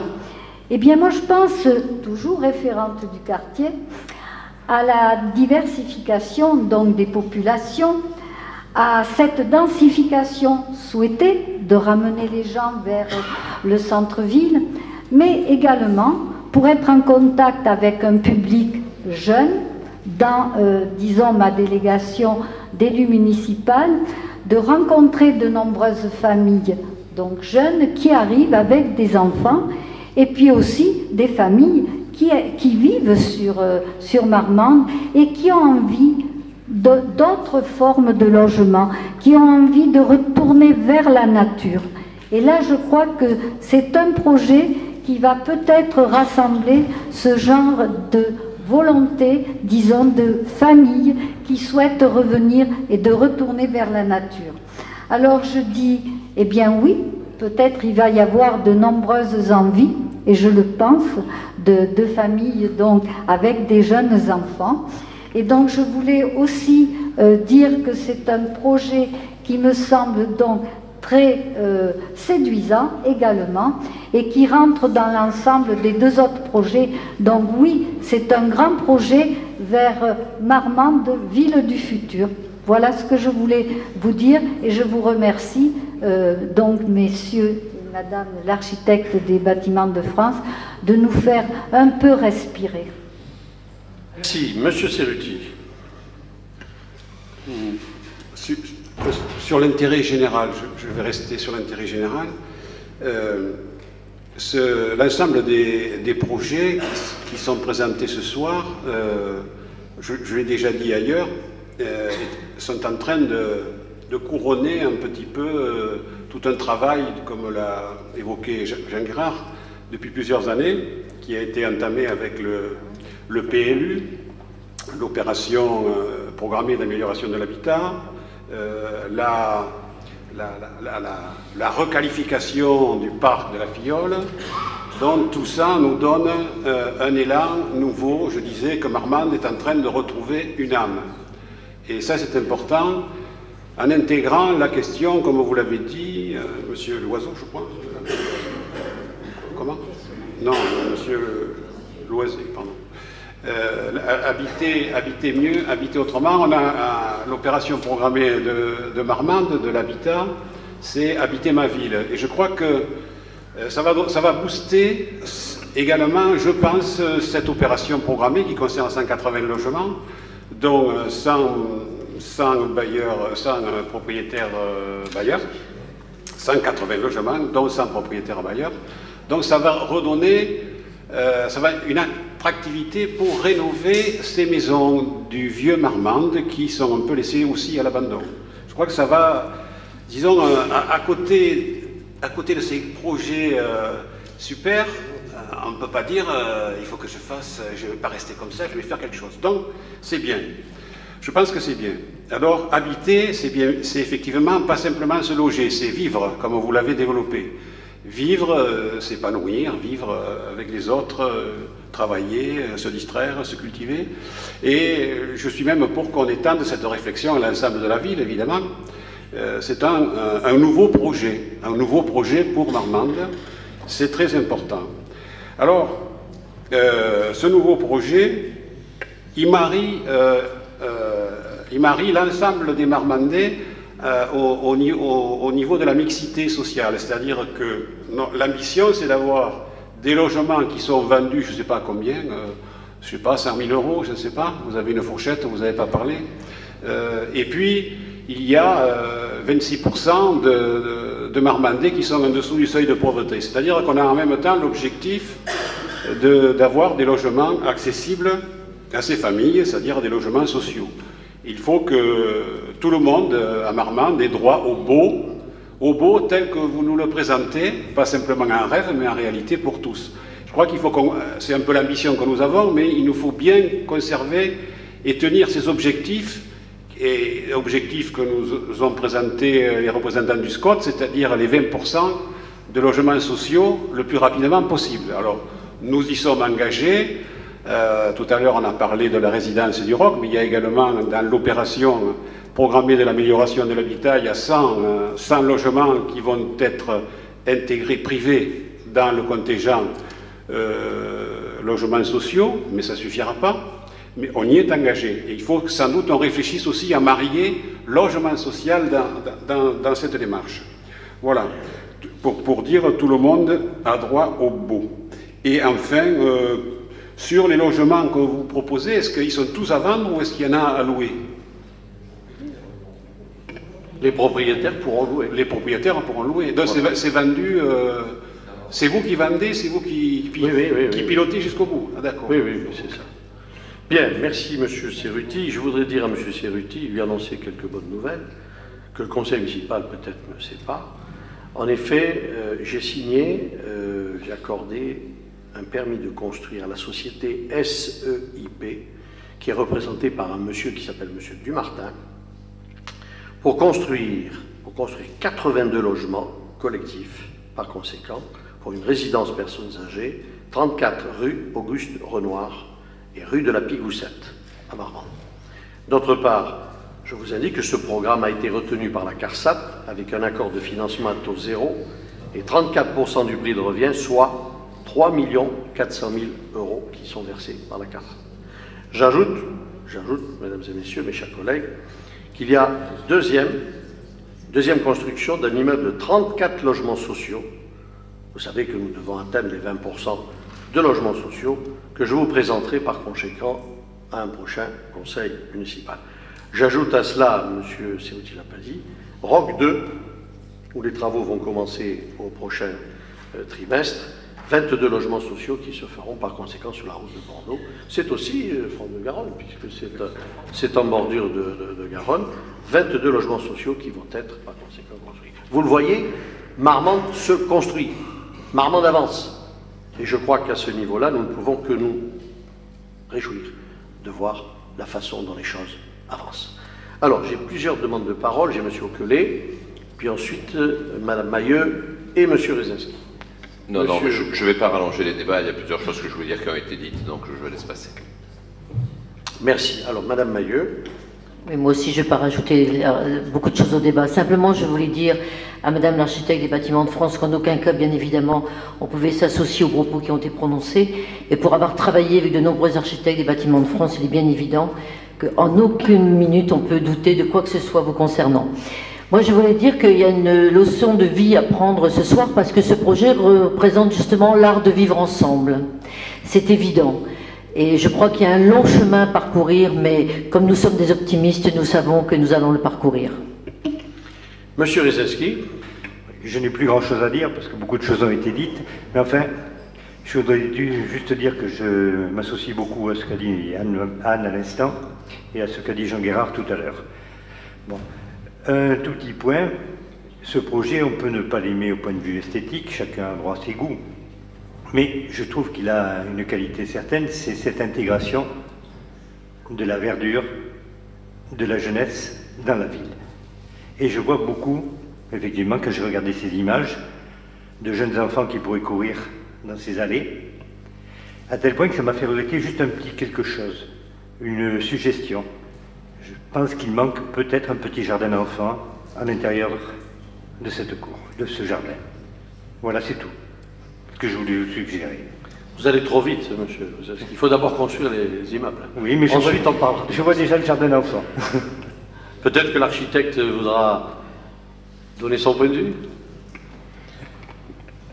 Oui, je vais, je vais rajouter un, petit mot par rapport à ce qui s'est dit. Euh, si on réalise ce projet et qu'il n'y ait pas une adhésion euh, complète à la philosophie qui est sous-tend, pour nous, ça serait un constat d'échec. Donc, euh, par la pédagogie qui nous anime, moi je suis prêt à en débattre et vous montrer, vous expliquer tout ce qui est sous-entendu dans, ce que vous voyez.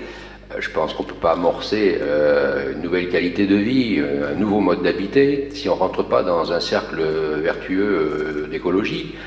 Donc, pour que les gens puissent faire du recyclage, pour que les gens puissent cultiver, pour que les gens puissent se côtoyer, échanger en, en venant se donner des conseils sur euh, les graines, les plantes, récupérer ces, légumes. Il faut déjà leur proposer un environnement qui soit propice. On, sait très bien qu'un milieu antisocial crée un comportement antisocial. Donc si vous voulez, ce, projet, euh, son, tort, je pense, hein, c'est peut-être d'avoir euh, raison trop tôt. Euh, Marmande, c'est pas Bilbao. L'îlot de Capucin, c'est pas le Guggenheim.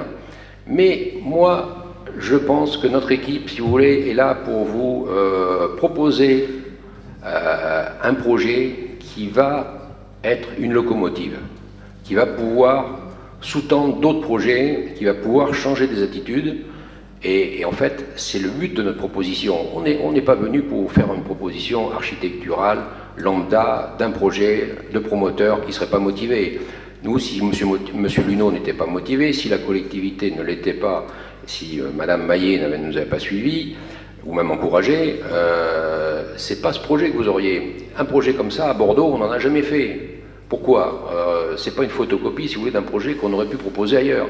C'est un projet qui a été fait pour vous. Pourquoi à Bordeaux ce projet n'a jamais été proposé? Parce qu'on n'a pas un seul promoteur à Bordeaux qui veuille se lancer dans cette aventure. Le jour où vous aurez fait le vôtre, ils viendront, ils suivront, ils diront Ah ben oui, ils seront les premiers à venir, à se déplacer en bus pour dire euh, Mais vous avez fait un truc est mariole, mais comment ça se fait qu'on n'y a pas pensé plus tôt? Ce projet, c'est un projet paisible. C'est un projet qui doit générer de la, la sérénité. C'est pas un projet violent. C'est un projet, si vous voulez, il est fait pour nous. Quand je dis nous, je me mets avec vous. Moi, je voudrais y habiter là-dedans. Alors, je pense que peut-être on ne s'est pas bien compris, je me suis peut-être mal expliqué, je pense que ça vaut peut-être euh, le, fait que, nous nous revoyons ou qu'on puisse rentrer plus dans le détail, parce que dans une soirée comme celle-ci, bon, on passe en dernier, mais euh, c'est vrai qu'on ne peut pas monopoliser la parole non plus trop longtemps. On ne peut pas imaginer dans les images qu'on nous a proposées tout ce que nous, on a mis à l'intérieur. Mes collaborateurs qui sont là, qui sont deux jeunes architectes, sont motivés, ils nous ont dit, mais est-ce qu'on va aller jusque-là? Mais je dis oui, parce que si on ne met pas la barre à un certain niveau, si vous voulez, on va se retrouver en décalage. Donc il faut toujours qu'on propose quelque chose de nouveau. Alors c'est vrai que d'avoir raison trop tôt, c'est malsain, on, le sait très bien, mais écoutez juste, digérez le discours que l'on a eu ce soir, et puis je pense que peut-être dans quelques mois, dans quelques années, en espérant que le projet sera réalisé, euh, on en reparlera, et je pense qu'on euh, échangera euh, avec d'autres mots, sur une autre trame, et je pense que tout le monde dira, effectivement, toute l'équipe, vous avez eu raison de nous pousser parce que peut-être qu'on ne serait pas allé jusque-là. Merci, merci Monsieur Loisel. Bravo sur vos positions qui, je crois, sont très, claires et répondent tout à fait aux demandes que les élus avaient, les élus en tout cas, avaient, avaient souhaitées. Madame euh, Normand, je vous donne la parole, mais vous serez la dernière, parce que le débat était très riche je voudrais dire, avant de conclure, un mot à monsieur. Un mot, un mot. Simplement remercier, monsieur, et le féliciter de nous offrir à nous, Marmandais, justement, cette opportunité extraordinaire. Euh, je pense que ça va exactement dans le droit fil de ce que nous recherchons, c'est-à-dire que vous nous proposez un lieu de vie. Vous avez parlé de habiter autrement, et moi j'aimerais dire aussi peut-être mieux vivre ensemble, ce qui est exactement ce que nous cherchons. Vous nous proposez un lieu de convivialité, un lieu justement de solidarité, je dirais même, et, et dans ce temps où on recherche beaucoup justement d'être ensemble et de, proposer autre chose. Par exemple, ce que nous avons essayé de faire aussi à Marmande avec les incroyables comestibles, quelque chose qui s'est répandu dans le monde entier, c'est-à-dire ce retour aux valeurs euh, de la terre, tout simplement, et aux, valeurs humanistes. Bon, pour tout cela, merci beaucoup, monsieur. Soyez remerciés pour tout cela. Merci. Merci. Monsieur Luneau, avant de conclure ce débat et de passer au vote, je voudrais vous dire euh, quelques mots. Vous venez d'assister à un débat, à une discussion. Nous sommes une assemblée, une assemblée de Marmandais. Chacun a ses idées, chacun a ses opinions, chacun a ses goûts. Vous, vous êtes tout seul. Vous êtes l'investisseur. Quand on vous donne des conseils sur les financements, vous les écoutez. Mais c'est vous qui décidez. C'est votre argent. C'est votre programme. C'est vous qui, dans cette affaire, être seul, finalement, avec le projet.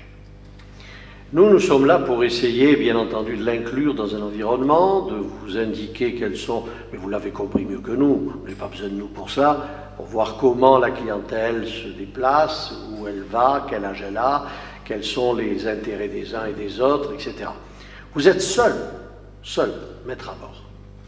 Bien entendu, il faut que le maire, dans une signature, bas d'un document qui s'appelle le permis de construire. Parce que c'est comme ça, c'est la loi.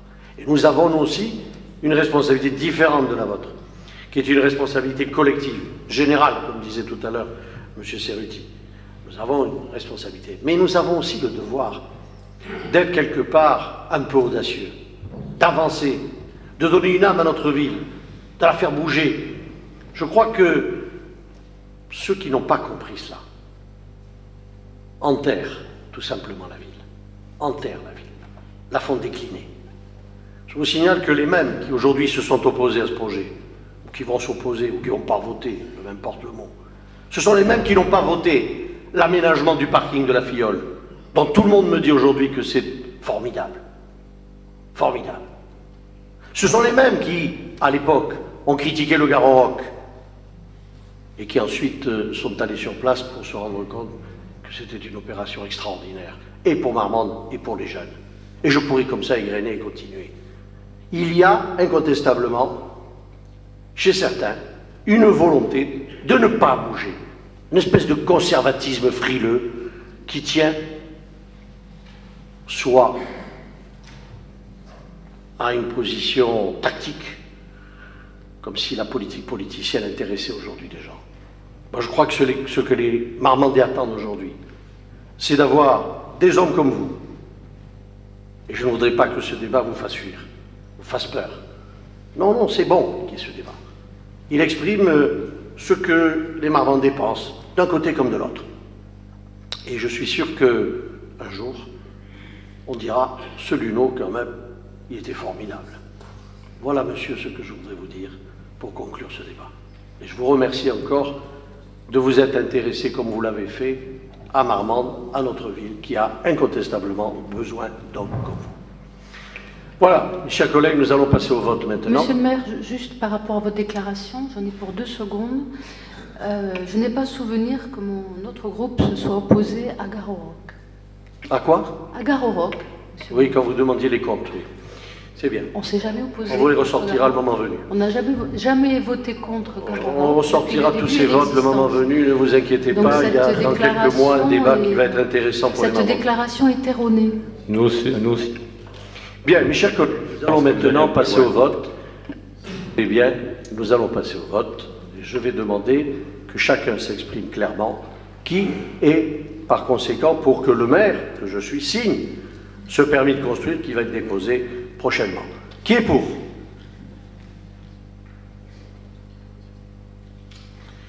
Qui est contre? Qui s'abstient? Qui refuse de voter? Bien, les cinq. Eh bien, mes chers collègues, je vous remercie. Je remercie M. Loisel, je remercie M. Mignot, je remercie Madame l'architecte des bâtiments de France. Je crois que le débat a été clair, il a été filmé, il sera mis sur euh, le site de la ville de Marmande et tous les Marmandais pourront ainsi juger ce que les uns et les autres ont dit. Je vais suspendre pendant cinq minutes pour vous détendre un petit peu et nous reprenons tout de suite après la suite du conseil municipal. Dossier numéro 4, il s'agit de l'approbation du programme de travaux d'assainissement pour le premier semestre 2014. Alors, j'ai Monsieur Erwan Bordillon qui est ici. Attendez, on va fermer peut-être la porte. Ah, Monsieur Garard, ferme la porte. Ferme la porte, s'il te plaît. Merci. Bien. Alors, je vais vous proposer, mes chers collègues, vous allez le voir, ce qui a été fait bon, en 2013 et ce que nous allons faire au premier semestre 2014, puisqu'il faut engager tout de suite, bien entendu, les appels d'offres. Alors, on- Monsieur Erwan Bandillon, pouvez-vous rappeler ce qui a été fait en 2013 en matière d'assainissement Oui, alors euh, le gros chantier de l'année 2013, ça avait été bien sûr euh, l'avenue Charles Bauer, je pense que tout le monde l'avait pu le voir. Donc on était parti du carrefour avec le boulevard de Marais jusqu'à peu près à la station de lavage qu'on trouve au bout de cette avenue. Donc euh, il y avait eu un montant de travaux de plus de 478 000 euros euh, TTC. Ensuite, on avait réalisé la rue euh, Tristan Derem, qu'on avait passé en séparatif également. Donc là, on se trouve juste au-dessus de l'avenue euh, du Maréchal Joffre. Il y avait un chantier de 245 mètres à peu près, pour un montant de plus de 136 000 euros TTC. Et le chantier suivant, c'était juste les rues d'à côté, la rue du professeur Bergonnier et Élysée Reclus, que nous avons passé en séparatif également pour un tout petit peu moins de 70 000 euros euh, TTC. Ça, c'était pour l'année 2013. Donc pour 2014, au premier semestre 2014, on propose de réaliser donc euh, le premier tronçon de la rue de Bientôt Vu, donc que je vous ai surligné en, en rouge ici, qui irait, euh, le fin de ce tronçon se trouve à peu près à, la hauteur de l'emplacement de la future petite rocade. Voilà. Donc là, il y a environ pratiquement 300 mètres de réseau à tirer. Il y en aurait pour un, un mois et demi de travaux et euh, pour un montant estimé de 142 000 euros euh, TTC.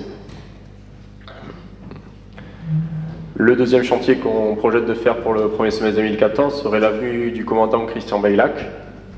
Donc euh, toujours en rouge ici. Donc la partie qui se trouve euh, du boulevard qui passe sous la voie ferrée qui rejoint ici est déjà faite. Donc on ferait le petit morceau euh, de la rue Baudelaire plus toute l'avenue Christian euh, qui se trouve ici juste avant le nouvel aménagement du parking qui a été fait par VGA. Donc là il y a 380 mètres de réseau à tirer. Il y en aurait pour là plutôt deux mois de chantier et une estimation des travaux de, à 261 000 euros TTC.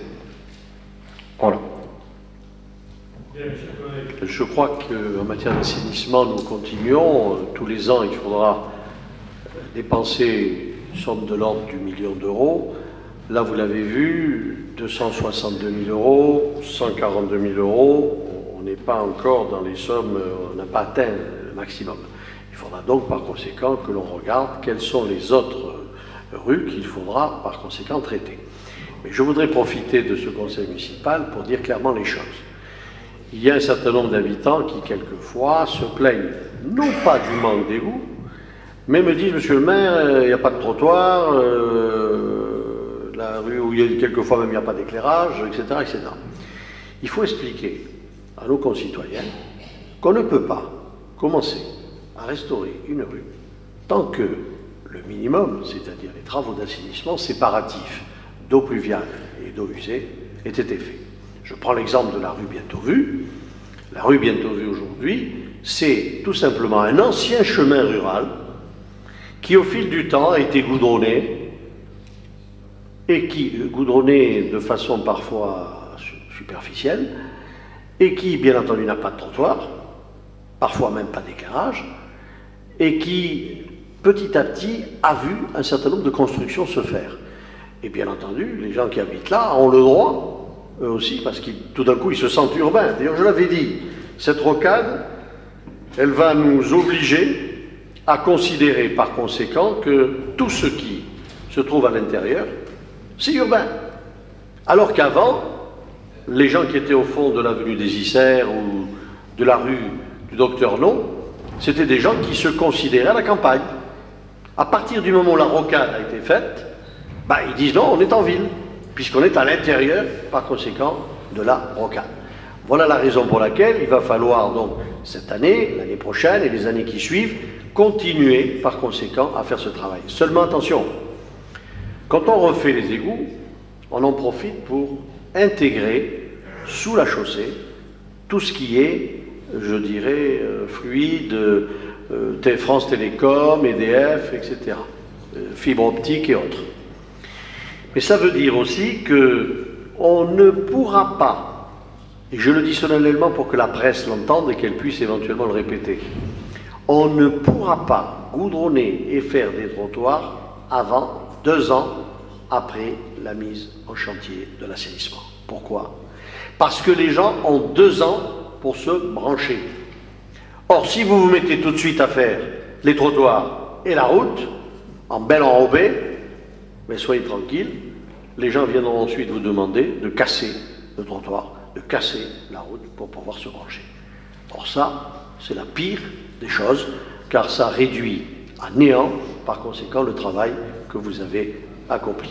Voilà la raison pour laquelle, je le dis, les deux rues dont vous parlez, la rue Christian Meillac et la rue Docteur Bientôt Vue, si elles sont faites, et elles seront faites l'année prochaine, pendant le premier semestre, je vous dis tout de suite, on ne pourra pas faire les trottoirs, on ne pourra pas faire les trottoirs avant, par conséquent, 2016. Ah, euh, tout le monde se connecte obligatoirement. C'est dans les deux ans. Ah, sauf si tout le monde se met à se connecter dans les six mois qui suivent. Alors là, évidemment, ça nous laisse une marge, oui, M. Lecollet a raison, ça nous laisserait une marge totale pour pouvoir faire tout cela. Voilà, je veux que tout le monde comprenne bien cela. On ne peut pas faire les trottoirs, on ne peut pas faire la route tant que l'assainissement n'a pas été fait et on ne peut le faire qu'au bout de deux ans, puisque les gens ont deux ans pour se connecter. Que les choses soient claires. Voilà. La parole circule sur ces deux programmes. Monsieur Oculé. Oui, 30 secondes juste pour vous. Je, suis très heureux qu'on me présente des, projections. Je l'avais demandé, c'est fait. Je, vraiment, j'en remercie. Juste, je dirais à Juan que s'il pouvait. Euh, vous avez dit par exemple rue Christian Bayla que là il y avait un bout qui était déjà fait, donc ça se connectait. Si dans les futurs schémas, vous pouvez juste mettre en trait ce qui est déjà fait pour montrer la, la, tentacule, enfin l'aspect tentaculaire, l'araignée, la toile d'araignée, voilà, je cherchais mes mots, excusez-moi, la toile d'araignée qui progressait. Voilà, c'est juste de la pédagogie. Nous avons, monsieur Oculé, déjà, je ne sais pas si vous vous en souvenez, pas ce dernier conseil municipal, mais l'autre d'avant, nous avions fait le schéma qui permettait de voir. C'est vrai qu'on aurait pu le mettre en bleu pour vous montrer exactement. exactement. Voilà. D'autres questions Monsieur Perret. Oui, monsieur le maire. Euh, c'est un dossier, le, je parle de la, venue de Christian Beyla, qui est un, un dossier qui a été vu en conseil de quartier, puisqu'il y a tout un réseau de rues à refaire dans le quartier-là, et donc euh, on l'avait intégré dans un dossier de, quartier. Euh, mais je suis satisfait qu'il y ait la priorité donnée à cette, euh, à cette rue-là, parce que la nécessité de, faire des travaux sur cette rue ne date pas d'aujourd'hui. Donc aujourd'hui, le projet avance et je suis sûr que les conseillers de quartier et tous les gens du, quartier vont être enchantés, pas dans l'immédiat des travaux, mais quand ça sera fini, ils seront enchantés plus tôt que je ne pensais. Merci, monsieur le maire. Il faut savoir qu'il y a un autre problème. C'est que les trottoirs sont enfoncés, la rue est bombée et les voitures se mettent toutes toutes, bien entendu, à cheval sur les trottoirs. Alors j'ai demandé au service voirie de VGA, puisque c'est VGA qui suit ce dossier, de bien vouloir me mettre des piquets, me mettre des piquets sur les trottoirs, même dans l'état où ils sont aujourd'hui. Ce seront des piquets provisoires, mais ça empêchera par conséquent les voitures de monter sur le trottoir et ça permettra aux personnes de circuler, je dirais, dans des conditions normales et non pas d'aller sur la route quand les voitures sont sur les trottoirs. Voilà. Je cite euh, Beilac parce que c'est l'exemple le plus, le plus frappant. D'autres demandes de parole? Oui, Monsieur Kenta? Monsieur Lezinski après. Au niveau de la rue, bientôt vue, une petite demande de précision. On parle de première tranche, oui. de premier tronçon.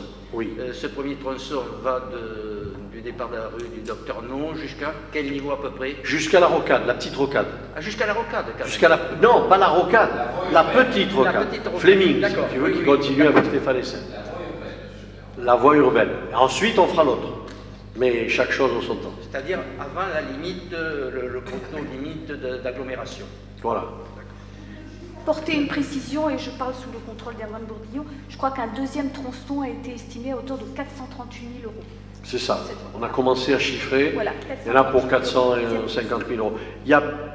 C'est vrai que vers le fond de la rue Bientôt Vue, il n'y a pas beaucoup de maisons. Non, ça s'arrête brusquement. Pas beaucoup de maisons. C'est pour ça qu'il faut d'abord faire celle-là, puis on verra plus tard. D'autres demandes de parole? Monsieur Serruti et Monsieur Rezinski. Alors, Monsieur Rezinski, Monsieur Serruti. Oui, ben, ça, sera très, très bref. Je me demande juste où on a trouvé ce plan de Marmande.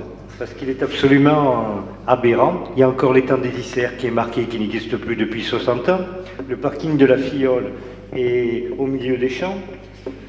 Ensuite, euh, il y avait l'étape hôtel qui était marqué en plein au milieu de la rue de la Libération.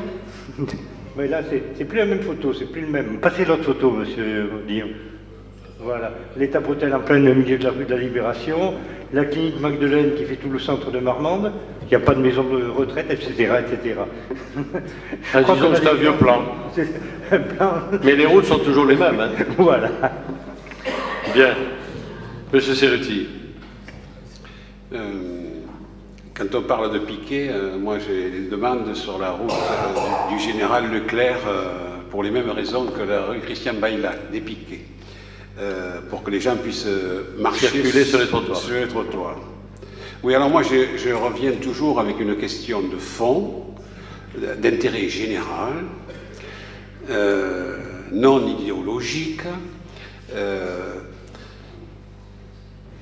40 ans pour faire tout le réseau, ça, ça me pose problème.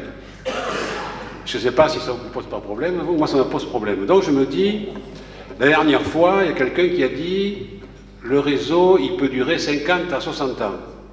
On ne va pas tout payer. Quand on fait des grands travaux, allez, on fait des grands travaux, on fait des emprunts sur une durée qui va jusqu'à 40 ans, voire 50 ans. On lisse sur la durée.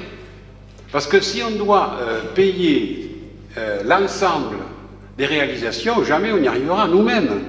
Euh, il faut aussi qu'on qu partage. Moi, je suis pour partager.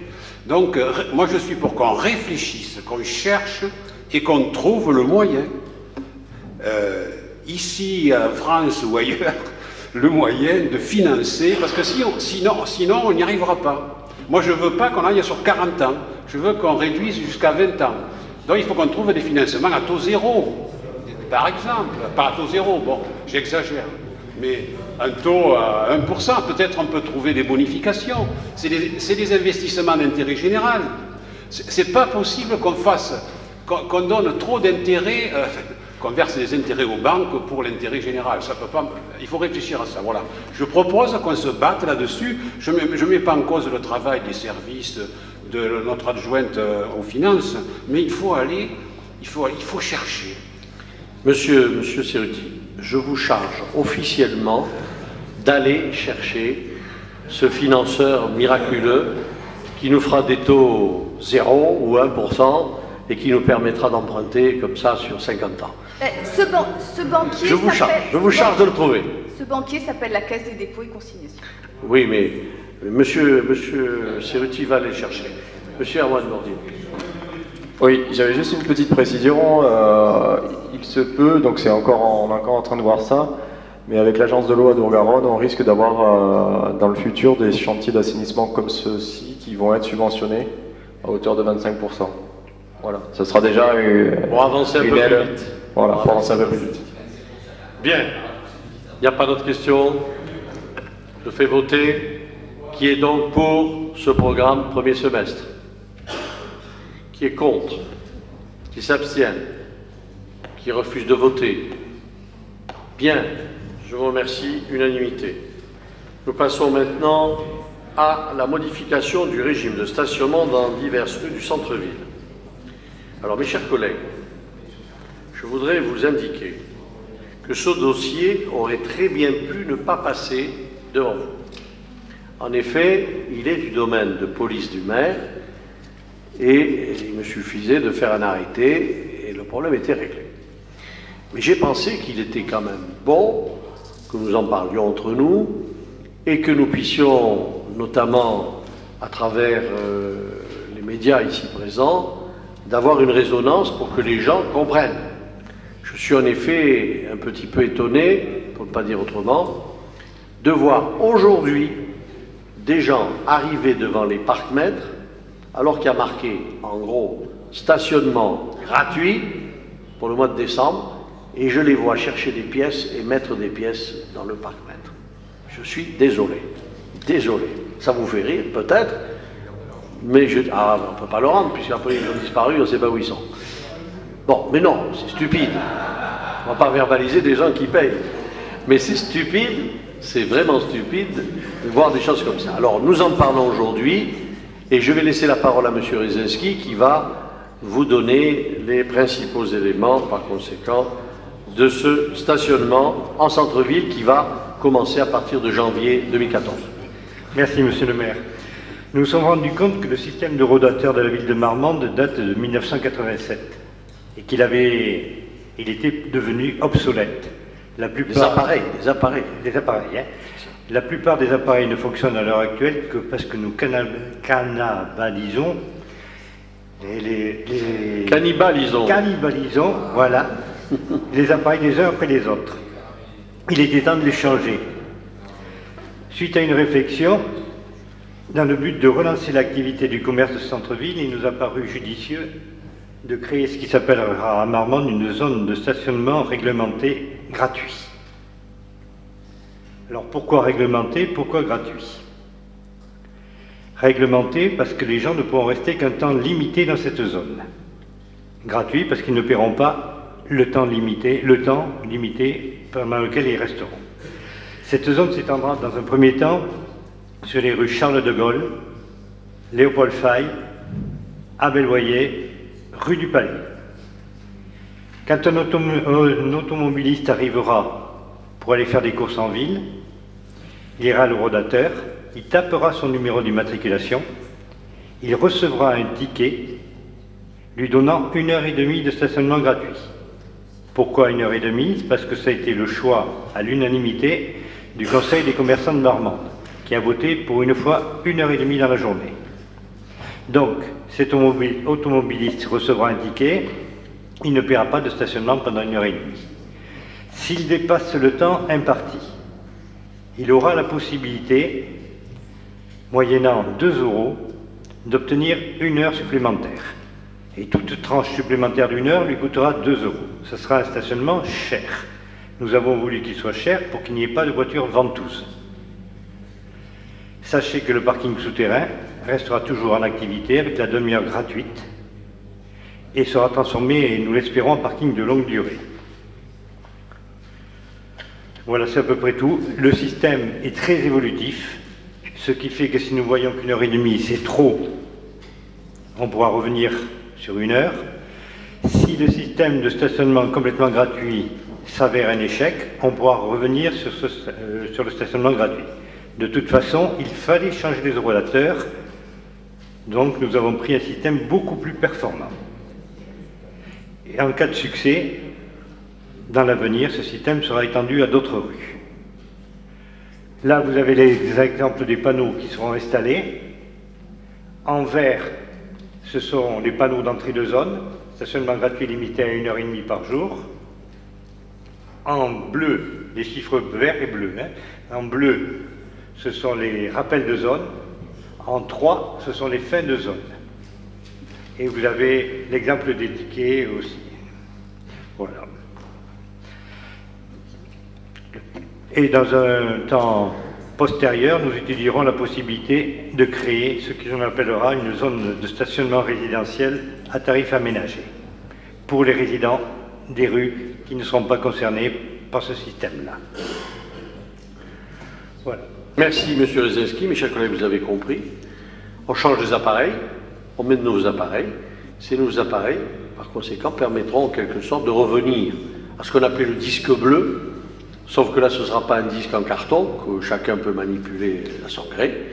Ce sera un appareil, par conséquent, numérique, qui évitera de venir deux fois dans la journée ou de continuer, je dirais, après l'heure gratuite, une heure et demie gratuite, je crois que c'est bien. Alors, je vous indique que nous avons reçu le Conseil des commerçants avec Mme deux fois, on a débattu, et ils ont été tout à fait d'accord, par conséquent, pour que nous tentions cette opération.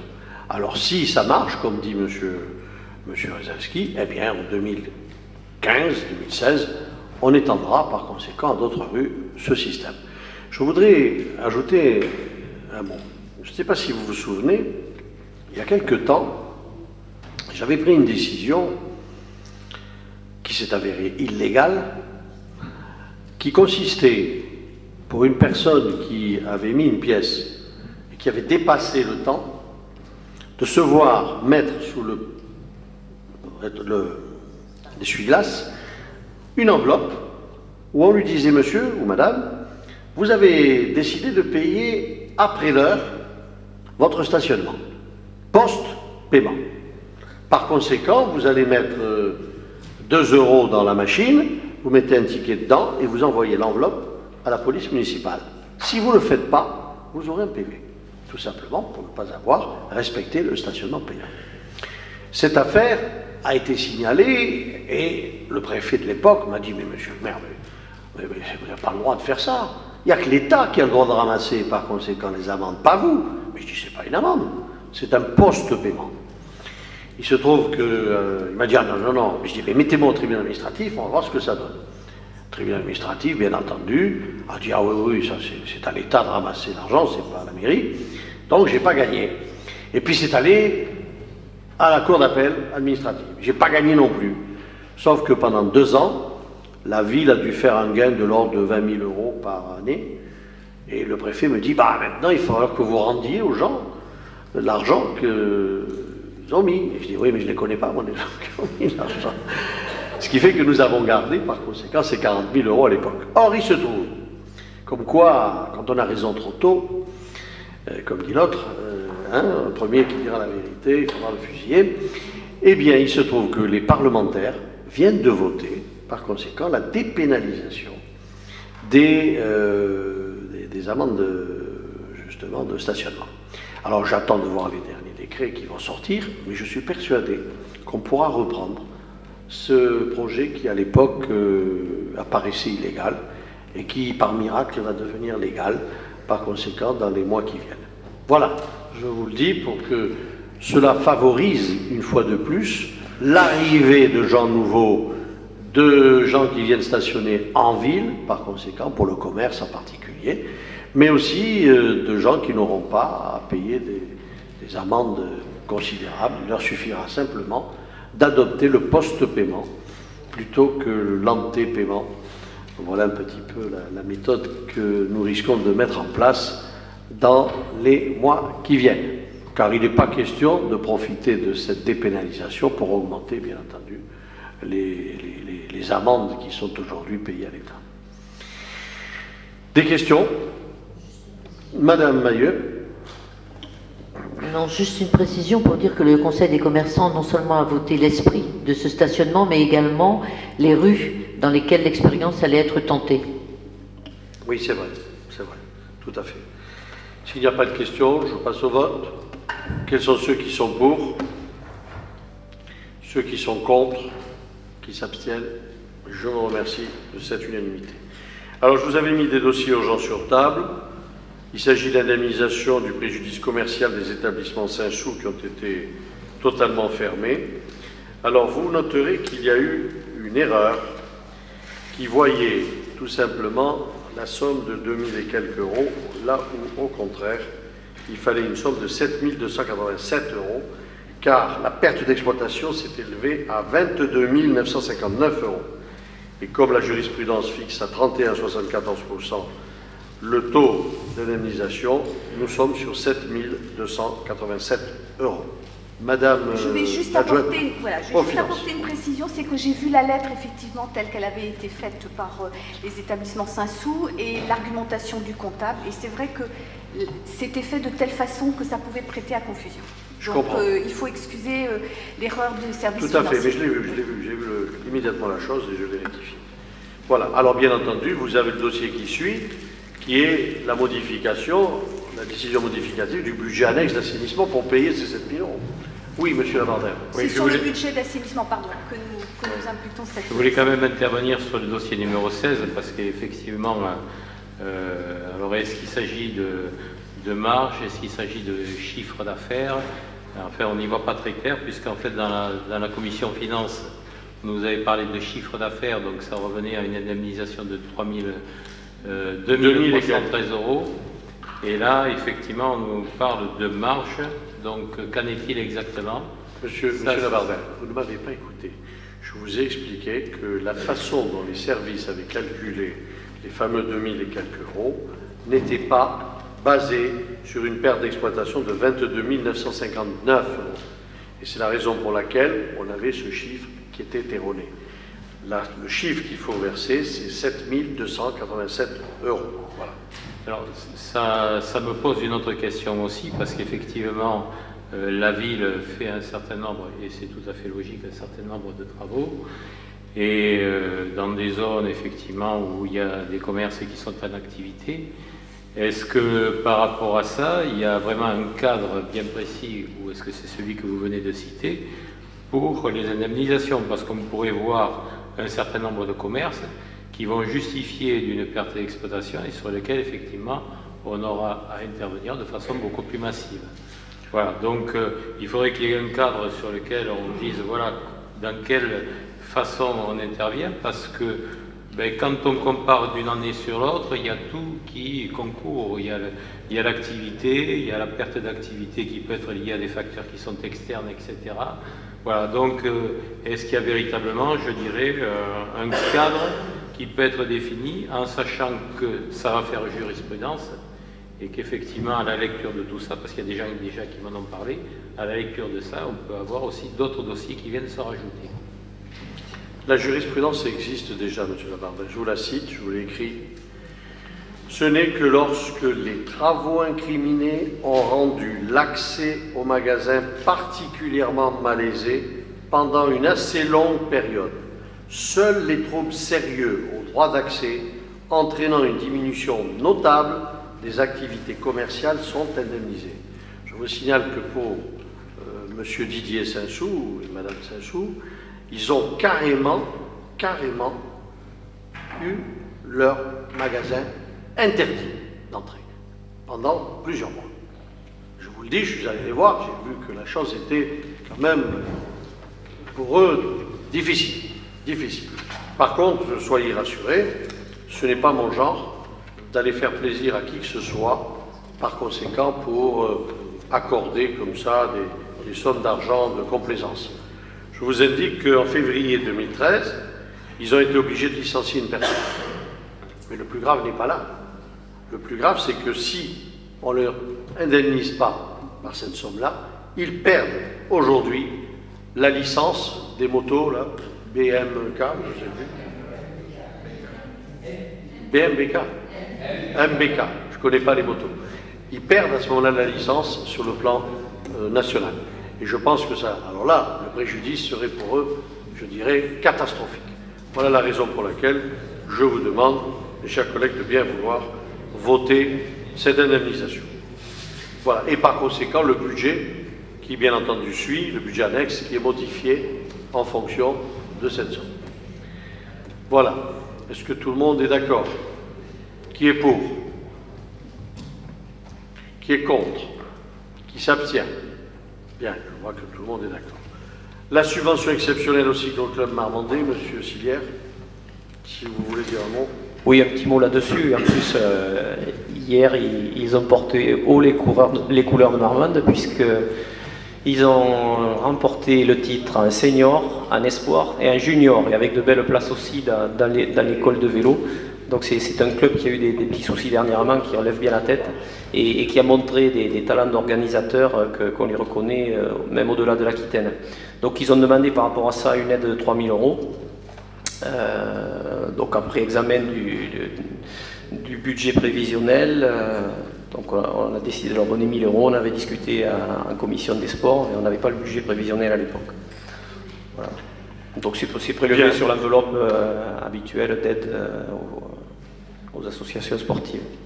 Mes chers collègues, s'il n'y a pas de grand débat sur ce dossier, est-ce que vous êtes d'accord avec cette proposition de M. Silière Qui est pour? Qui est contre? Qui s'abstient? Unanimité. Bien, nous avons maintenant les dossiers techniques. Je vous demande, mes chers collègues, si vous avez la volonté de débattre de l'un ou de l'autre de ces dossiers et de me donner le numéro. Ah, quel numéro? Le 11. Oui, c'est l'histoire des, des, logements sociaux. Non, c'est pas ça Alors, Monsieur Guérard, répondez. Vas-y, vas-y. Définition des modalités de mise à disposition du public du dossier de modification simplifiée numéro 1 du PLU. Rapporteur, Monsieur Jean Guérard. Oui, mais c'est un gros dossier qui est à la disposition des élus pour prendre Non, non, non, soit ça. Non, non, sans blaguer. C'est un, ce sont des, des ajustements euh, sont, qui, sont, qui méritent d'être euh, mis sur table, étudiés. Et je vous renvoie à toute cette liasse. Il s'agit de permettre en zone UF l'implantation de bâtiments à usage d'artisanat ou d'industrie dont l'activité est strictement liée aux formations délivrées au lycée permettre en zone UEX le changement de destination des bâtiments commerciaux. Par exemple, vous avez l'extension des bâtiments Asquini. C'est une petite euh, mise à jour de tout ça. Mais c'est très technique. Hein, Parce que voulait s'étendre, et là où il voulait s'étendre, il y avait une maison. Il fallait détruire la maison, seulement l'endroit où il voulait s'étendre, c'était construction d'habitation. Alors que lui, ce qu'il voulait, c'était construction de son bâtiment industriel. Voilà. Ce sont des petites euh, modifications de ce genre, je pense, mes chers collègues, que nous sommes tous d'accord pour que Asquini puisse avoir euh, la possibilité de, de, créer des emplois. Bien, d'autres dossiers Oui, Monsieur Kenta, numéro.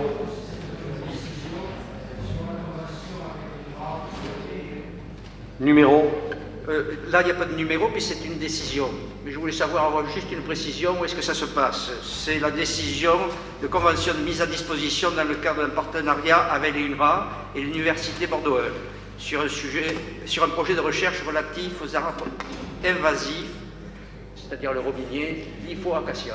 Alors laquelle est cette recherche C'est la 4 ou 5e. Décision de mise à disposition. 2013-220. Aux arbres invasifs, c'est pour la, fille, la fiole. Voilà, voilà, c'est euh, la Fillole, nous avons des problèmes avec euh, le Jardin des Sources, et par conséquent, nous avons demandé la possibilité d'avoir l'aide de l'INRA et de l'Université de Bordeaux pour planter justement des robiniers faux acacias. Des robiniers. Je vous avoue ma totale euh, ignorance euh, dans ce domaine. Voilà. Je sais ce que sont les acacias. La famille est Bien, chers collègues, s'il n'y a pas d'autres euh, décisions, je vous demande un vote collectif. Quels sont ceux qui sont contre Ceux qui s'abstiennent Ils sont donc adoptés à l'unanimité et je vous remercie.